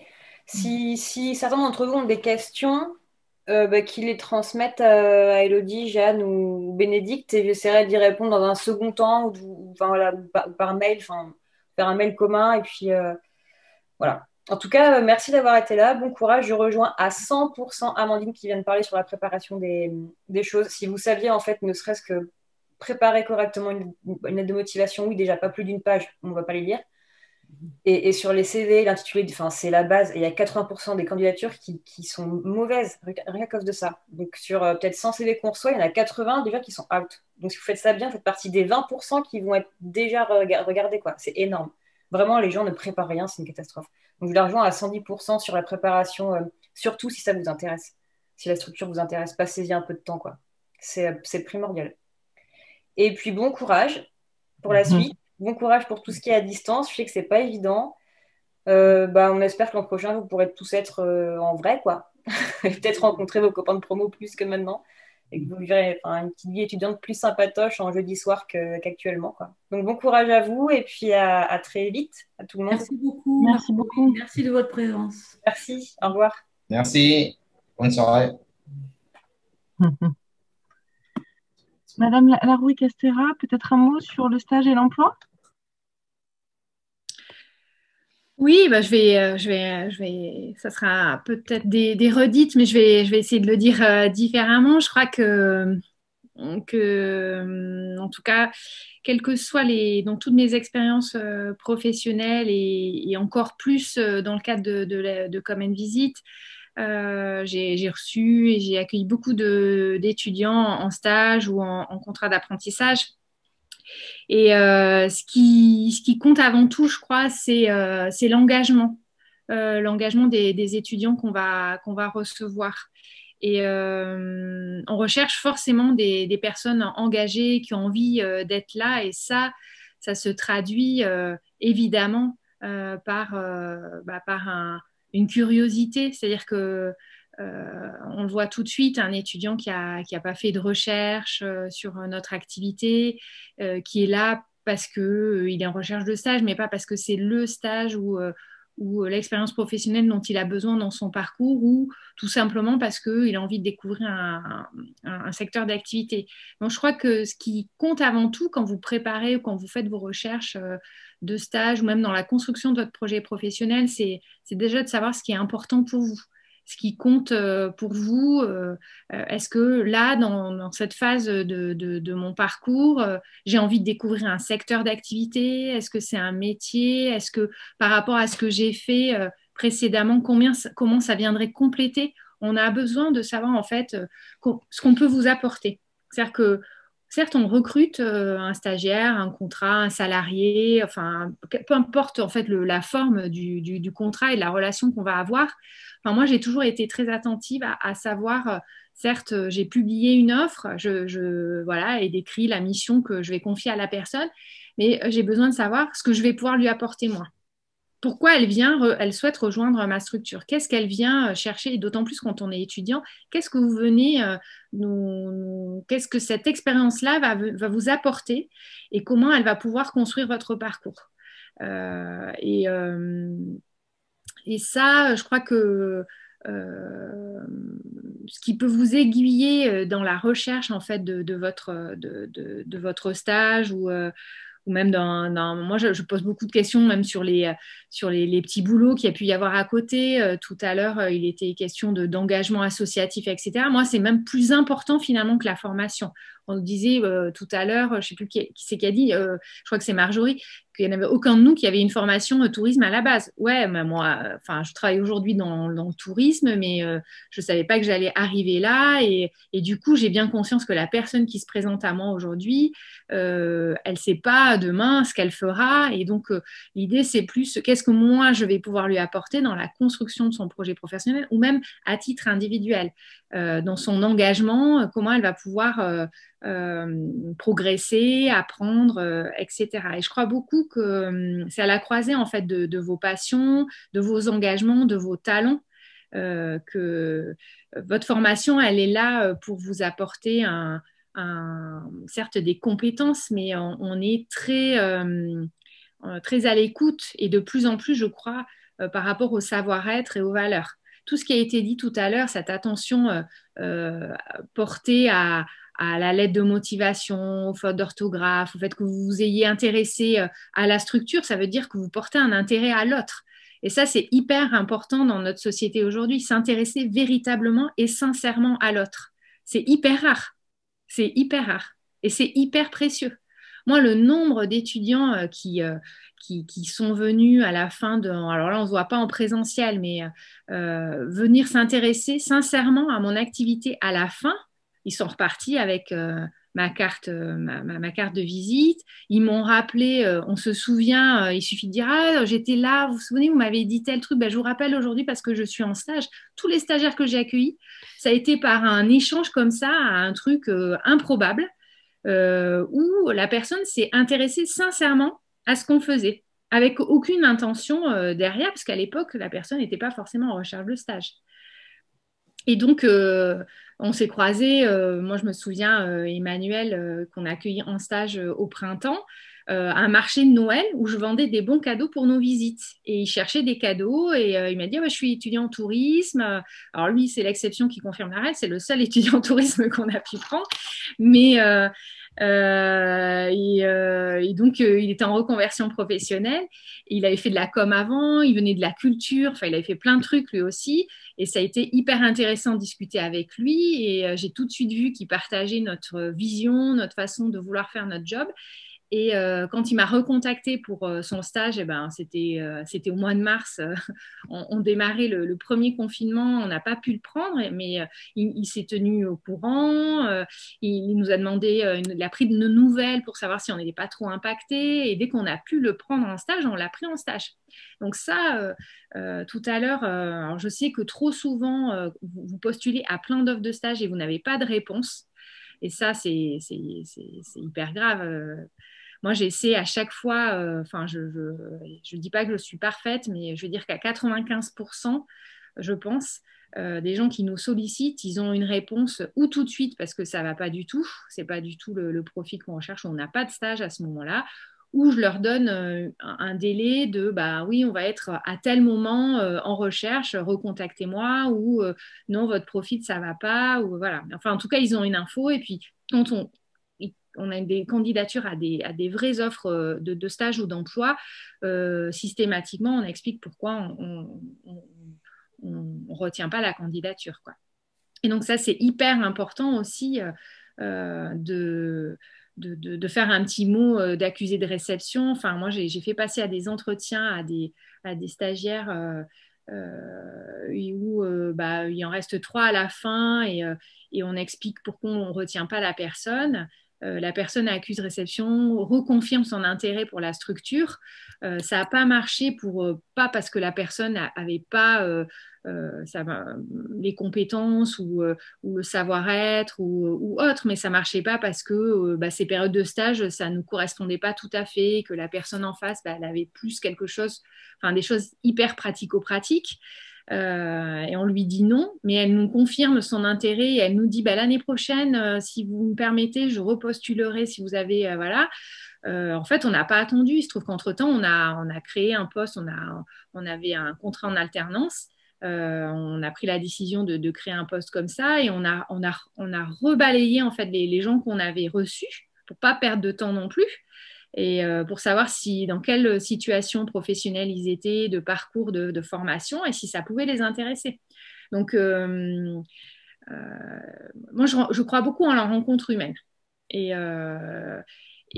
donc, dans, la façon de postuler, je pense que il faut que vous parliez un peu plus de, ce qui fait, de ce que vous avez envie, de votre projet professionnel et de sortir un peu des standards tout faits qu'on lit à longueur de, journée. Et voilà. Et après, sur la question du réseau, ça a été déjà dit. Euh, euh, ouais, vous venez de l'université, les écoles, elles ont plus de réseau. Euh, bon, alors moi, j'y crois pas du tout. je vois, j'avais deux contrats, deux, deux, étudiantes en contrat d'apprentissage jusqu'à ce qu'on décide d'arrêter. Il y en avait une qui venait de l'INSEC, d'une grande école de commerce. Ils n'ont pas trouvé le stage, hein, elle s'est débrouillée toute seule. Et, une étudiante qui, qui, sort de, de Bordeaux 3 euh, et, qui, euh, qui, elle, on, la suit déjà depuis un petit moment. Euh, voilà, on avait eu l'occasion de se croiser.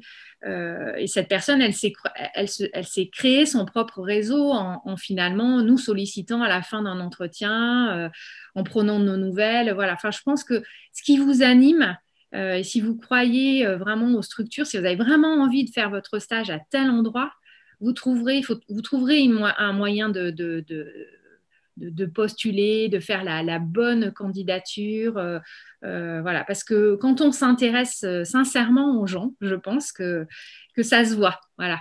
Et, et ça, si c'est vraiment ce projet-là que vous avez à cœur, vous y arriverez. Il faut croire en soi. Il n'y a pas de chance dans la vie. Je crois beaucoup au fait qu'on se crée ces opportunités.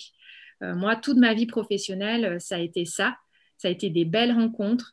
Euh, j'ai pu partager euh, vraiment ce que j'avais. Euh, voilà, mais on parlait d'engagement tout à l'heure, ce qui comptait pour moi. Et, du coup, face à moi, j'ai toujours rencontré des gens qui partageaient les mêmes valeurs et qui m'ont ouvert les portes. Voilà, donc, voilà, donc à la croisée tout ça. Votre formation, c'est ce qui va vous permettre de rentrer dans la vie active, mais ça ne fait pas tout. C'est pas parce que vous serez diplômé de voilà. Et moi, dans toutes les candidatures, je regarde même plus. Oui, dans l'offre, on, flèche sur un profil, mais c'est un, finalement, c'est un, un prérequis. Euh, c'est pas parce que vous serez diplômé euh, de la super école, de je sais pas quoi, où vous aurez le diplôme, même euh, mention très bien ou tout ça. Ce C'est pas ça qui est important, c'est ce que vous allez écrire, ce que vous allez dire de vous, la manière dont vous allez amener votre candidature. Et après, oui, bien sûr qu'on regarde l'adéquation, mais moi, j'ai eu des étudiants en stage euh, qui n'avaient pas du tout le bon profil. Euh, et dans tous les. À chaque fois, en fait, dans les. Euh, je prends toujours des, profils dans les candidatures, des, profils, vraiment le profil qu'on recherche. Et puis, il y a la petite candidature à côté.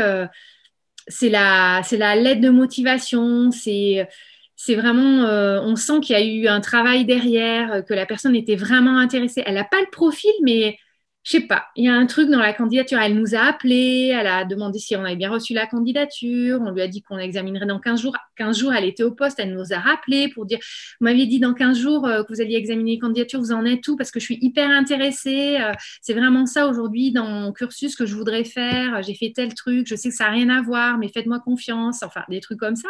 Vous vous souvenez de la personne en fait? Et donc, euh, bah moi, je garde toujours une petite place dans mes, dans mes, dans mes entretiens de sélection pour euh, ces personnes un peu atypiques euh, qui ne rentrent pas dans mes cases, mais on ne sait pas, on peut être surpris agréablement. Et moi, j'ai été surprise agréablement plusieurs fois. Voilà. Et après, les stages, bah, c'est le début d'un réseau. dans votre stage, vous allez croiser plein de gens. Dans votre entreprise, mais aussi après les, les, relations, les, parties prenantes autour de votre structure. Et ça, il faut le cultiver même en ça. Je sais pas parce que vous êtes stagiaire. Enfin, moi, j'ai été euh, stagiaire, j'ai plein, enfin, et plein de fois. Et en fait, euh, ben, je, suis encore en contact avec les gens avec qui j'étais en stage aujourd'hui. Et c'est le début de mon réseau. Donc, euh, et, je, là, je vais être de nouveau en recherche d'emploi. et je sais que je peux compter sur eux. Et mes stagiaires sont devenus mes clients. Euh, et, c'est pareil, enfin, il y a un jeu, le, monde est tout petit. Et, euh, et, à partir du moment où cette sincérité dans la relation humaine, elle est là, je pense que euh, bah c'est quand même le nœud central de la constitution d'un réseau. Et c'est vraiment des gens sur qui on peut compter. C'est pas le réseau LinkedIn. Alors, ils sont dans mon réseau LinkedIn aussi, mais ça fait, ça fait pas tout. Voilà. Donc, en plus, vous venez de sciences humaines, hein, donc la, la, relation humaine, elle est quand même à, à cultiver. Merci beaucoup pour ces perles. Euh, il est 20h, donc normalement on avait dit qu'on arrêtait à 20h. Euh, est-ce que ça convient à nos intervenants? Des questions, non? Ok.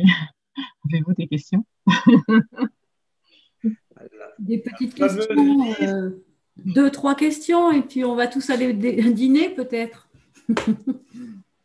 oui, alors il y avait des questions, Bénédicte, peut-être sur le chat? Non, pas de questions. Ok, ça arrive à nos étudiants. Aucune, question. En fait, nos euh, invités ont été très clairs, très complets.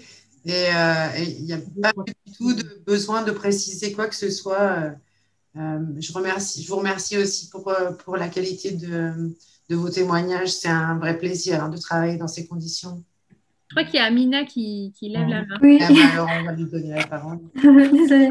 J'aurais une question à vous poser à, à Madame la... Oui. Euh, par rapport à votre entreprise, car je n'ai pas vraiment compris euh, euh, ce que c'était. Vous avez dit que c'était une entreprise qui, qui se spécialisait dans le tourisme d'entreprise.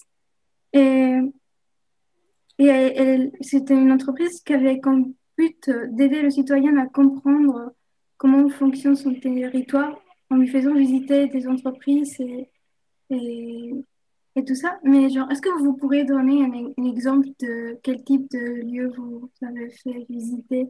Car vous avez parlé des chantiers, mais c'est assez... Euh, oui, c'est vrai que j'ai dit que j'allais donner des exemples et puis après, j'en ai pas donné. Euh, on, alors, on faisait visiter euh, des entreprises très, très différentes. Euh, on avait à la fois des, visites d'entreprises stricto sensu, c'est-à-dire qu'on amenait les gens vraiment dans les entreprises, et puis après on avait aussi des, balades thématiques, euh, des balades urbaines. Donc par exemple, euh, on faisait visiter l'écosystème Darwin à Bordeaux. donc là, c'est un, écosystème alternatif qui, qui à la fois est un lieu qui regroupe euh, à peu près 200 entreprises euh, du, champ de, l'économie sociale et solidaire, mais, pas que. Et puis un, réseau aussi associatif assez fort. Et c'est un lieu vraiment d'expérimentation euh, d'un autre modèle de, société. Mais à côté de ça, on, faisait visiter aussi les coulisses de la gare Saint-Jean. Donc là, l'idée, c'était de montrer vraiment comment la, gare est un, nœud vraiment au cœur du développement du, territoire. On, emprunte très souvent, ben, on, va dans la gare pour emprunter un train, mais on se pose rarement pour regarder son fonctionnement et, pour remettre en perspective son architecture, son développement, l'approche historique, etc. On faisait visiter aussi le relais Gironde. Vous savez, c'est les bornes euh, les bornes que vous voyez un peu partout dans les rues dans lesquelles on peut déposer des vêtements. Euh, donc là, c'est une, entreprise aussi de l'économie sociale et solidaire qui fait de l'insertion par l'activité économique, c'est-à-dire que c'est une entreprise qui permet à des gens éloignés de l'emploi de retrouver un emploi. Pendant 24 mois, ils sont formés, ils retrouvent confiance en eux, ils ont tout un, soutien pour euh, les accompagner dans leur orientation professionnelle, mais c'est aussi un acteur de l'économie circulaire puisque ça permet euh, de recycler, euh, de remettre dans le circuit un certain nombre de vêtements. Puis à côté de ça, on, crée des, parcours, beaucoup sur les questions de transition énergétique. On avait une balade qui s'appelait l'envers de Bordeaux. Alors l'envers, E-N-V-E-R-T. Euh, où on allait à la rencontre de, commerçants, d'associations qui œuvrent pour la transition euh, écologique. Donc on parlait de mobilité, d'industrie textile, de mixité sociale. Euh, et là, on était plutôt, oui, sur des, micros, des micro-entreprises. voilà. après, on, avait une quinzaine d'entreprises très différentes. On, faisait visiter le centre de tri de la Poste à Cestas. Euh, voilà, où, circule tout le, où est trié tout le courrier de, toute la Nouvelle-Aquitaine. Donc des choses très très euh, différentes. Merci. Euh, oui, moi j'aurais bien une question pour Olivier Deltel du coup. donc, donc je l'ai déjà posé à une des chargées de la DOCIP, Madame Elodie Riboulot, mais bon, tant qu'à faire, autant la poser à la, personne concernée. donc voilà, donc je suis étudiant en L2 d'histoire et en fait, on a pour cette année, donc, euh, dans une matière qui s'appelle le projet professionnel, et donc on doit interroger eh bien, des professionnels euh, sur le métier qui nous intéresse, et euh, le fait est que j'aimerais bien devenir guide conférencier. Donc, savoir s'il serait possible que l'on comment dire, que, que je vous interroge, que ce soit sur Zoom ou en présentiel, qu'on se donne rendez-vous quelque part, voilà, pour que je vous pose davantage de questions sur votre carrière. Non, il n'y a, pas de souci. Hein. Je ne sais pas ce que j'ai mis. Oui. Non, non, il n'y a, pas de. Il n'y a, pas de souci. D'ailleurs, j'ai enfin, été appelé par des étudiants qui, eux, étaient, étaient dans, la, dans tout ce qui est le secteur de l'audiovisuel, puisqu'il y a un intervenant ce que c'est devenu maintenant, mais il n'y a pas très longtemps, c'était José, euh, enfin José qui travaille encore, qui travaillait sur France Bleu Gironde, qui m'avait dit, bah, écoute, si tu es libre, etc. J'avais été contacté par eux pour, euh, pour faire une pseudo petite émission. Voilà, c'était dans leur cadre de leur, de leur travail, de leur fin d'année d'études. Et euh, il y avait un personnage qui interprétait euh, un présentateur qui était un peu, peu maquillé, voilà, c'était l'horreur, et il parlait d'un château abandonné qui se trouvait à, à Blanquefort. Donc j'ai joué le jeu. Bon, il n'y a pas de souci, hein, il n'y a, pas de problème euh, dans ce cas-là. Voilà, il y a juste à mettre ceci au point. Bon. Par contre, je risque de partir euh, pour quelque temps à Valeuil. Ça, c'est une autre histoire, mais bon, voilà. J'aimerais poser une question à Madame Sandrine. oui, donc vous avez parlé des stages à la fin. Euh, est-ce que vous prenez même maintenant des, stagiaires? Non, là actuellement, non, euh, je ne prends plus de stagiaires parce que je suis en, je, cesse l'activité de, la société, de l'entreprise. Donc euh, non, il n'y aura pas de, stage dans les mois à venir. Parce que oui, ça fait quelques mois que, que j'essaye de trouver un stage dans le milieu du tourisme mais euh, c'est vrai, je regarde, c'est vraiment la plupart. Au début, je tournais vers des agences de voyage, euh, mais euh, je vois que tout est fermé presque. Enfin, ou sinon, s'ils sont ouverts, ils ne prennent pas de stagiaires parce que c'est compliqué. Donc voilà. c'est vous nous sollicitez, alors, vous solliciter la DOSIP. Donc vous pouvez nous envoyer un mail ou nous appeler que là, vous avez besoin d'être accompagné dans votre recherche. Vous êtes en troisième année de LEA, peut-être? Euh, Non, je suis en L2, euh, LLCER euh, russe. Oui, c'est vrai, ça n'a un peu, ça n'a pas rapport trop de, avec le tourisme, mais c'est ce que je veux faire.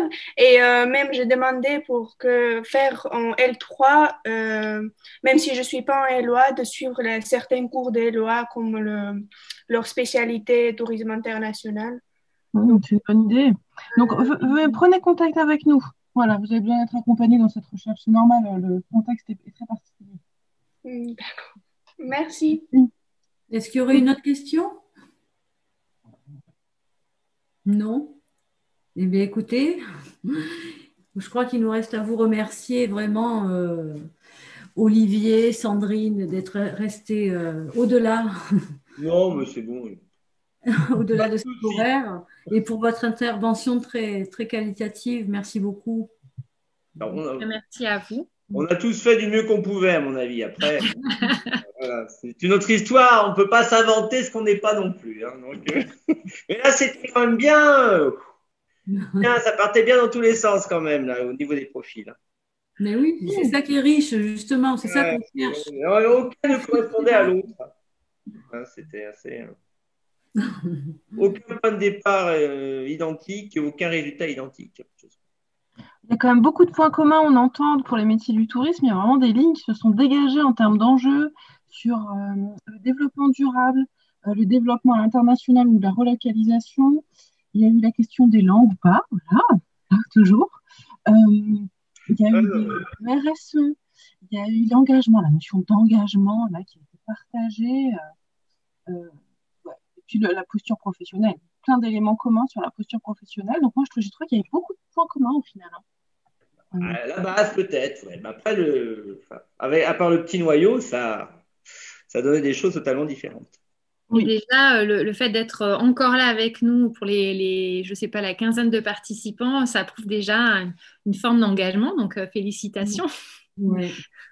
Merci à vous. Vous êtes là depuis le début. Hein. certains d'entre vous, je vous, on le voit. Hein. Donc, c'est très positif. Donc, merci à tous, surtout les intervenants. Merci à vous, étudiants. Merci. Et puis, voilà, nos prochaines RP, bien sûr, maintenant, ça va être sur les métiers de l'armée et c'est le 23 février. Voilà, autre. Voilà, changement de programme là. Bon, alors combien vont vouloir devenir légionnaires des, ah, des historiens, monsieur, monsieur ah, ah, Là, faut vouloir. Hein. Il y aura un communicant, comme euh, voilà. Voilà, vos deux profils, enfin voilà, vos deux activités seront un peu représentées aussi. Ouais, là, ça va être. Après, il y, a des métiers différents, par contre, dans l'armée, là, c'est. Déjà, en gendarmerie, c'était pas mal, mais là, ça va de, du mécanicien au pilote d'hélico. Hein. Oui, nous, on sera centré sur les sciences humaines et sociales, bien sûr. Voilà, communicant, historien, euh, professionnel de l'image. Eh ben oui, oui, non, mais ils ont un gros service de com. Après, ça vaut ce que ça vaut, mais. Euh, bon, notre histoire. Bon, sur ce, je vais vous abandonner. Mais en tout cas, bonne soirée, bon tout. Voilà. Hein, bon, ben, à demain. Hein, voilà, pour. Euh, pour C'était William. voilà. Et puis écoutez, ben, bon courage, bon tout, et désespérez pas, hein, le Covid va pas durer toute une vie non plus. Merci pour cette bonne humeur. Ouais, bon. Allez, bonne soirée. Merci, au revoir. Au revoir à tous, merci. Au revoir à tous. Au revoir. Au revoir, merci. Merci, au revoir. Au revoir.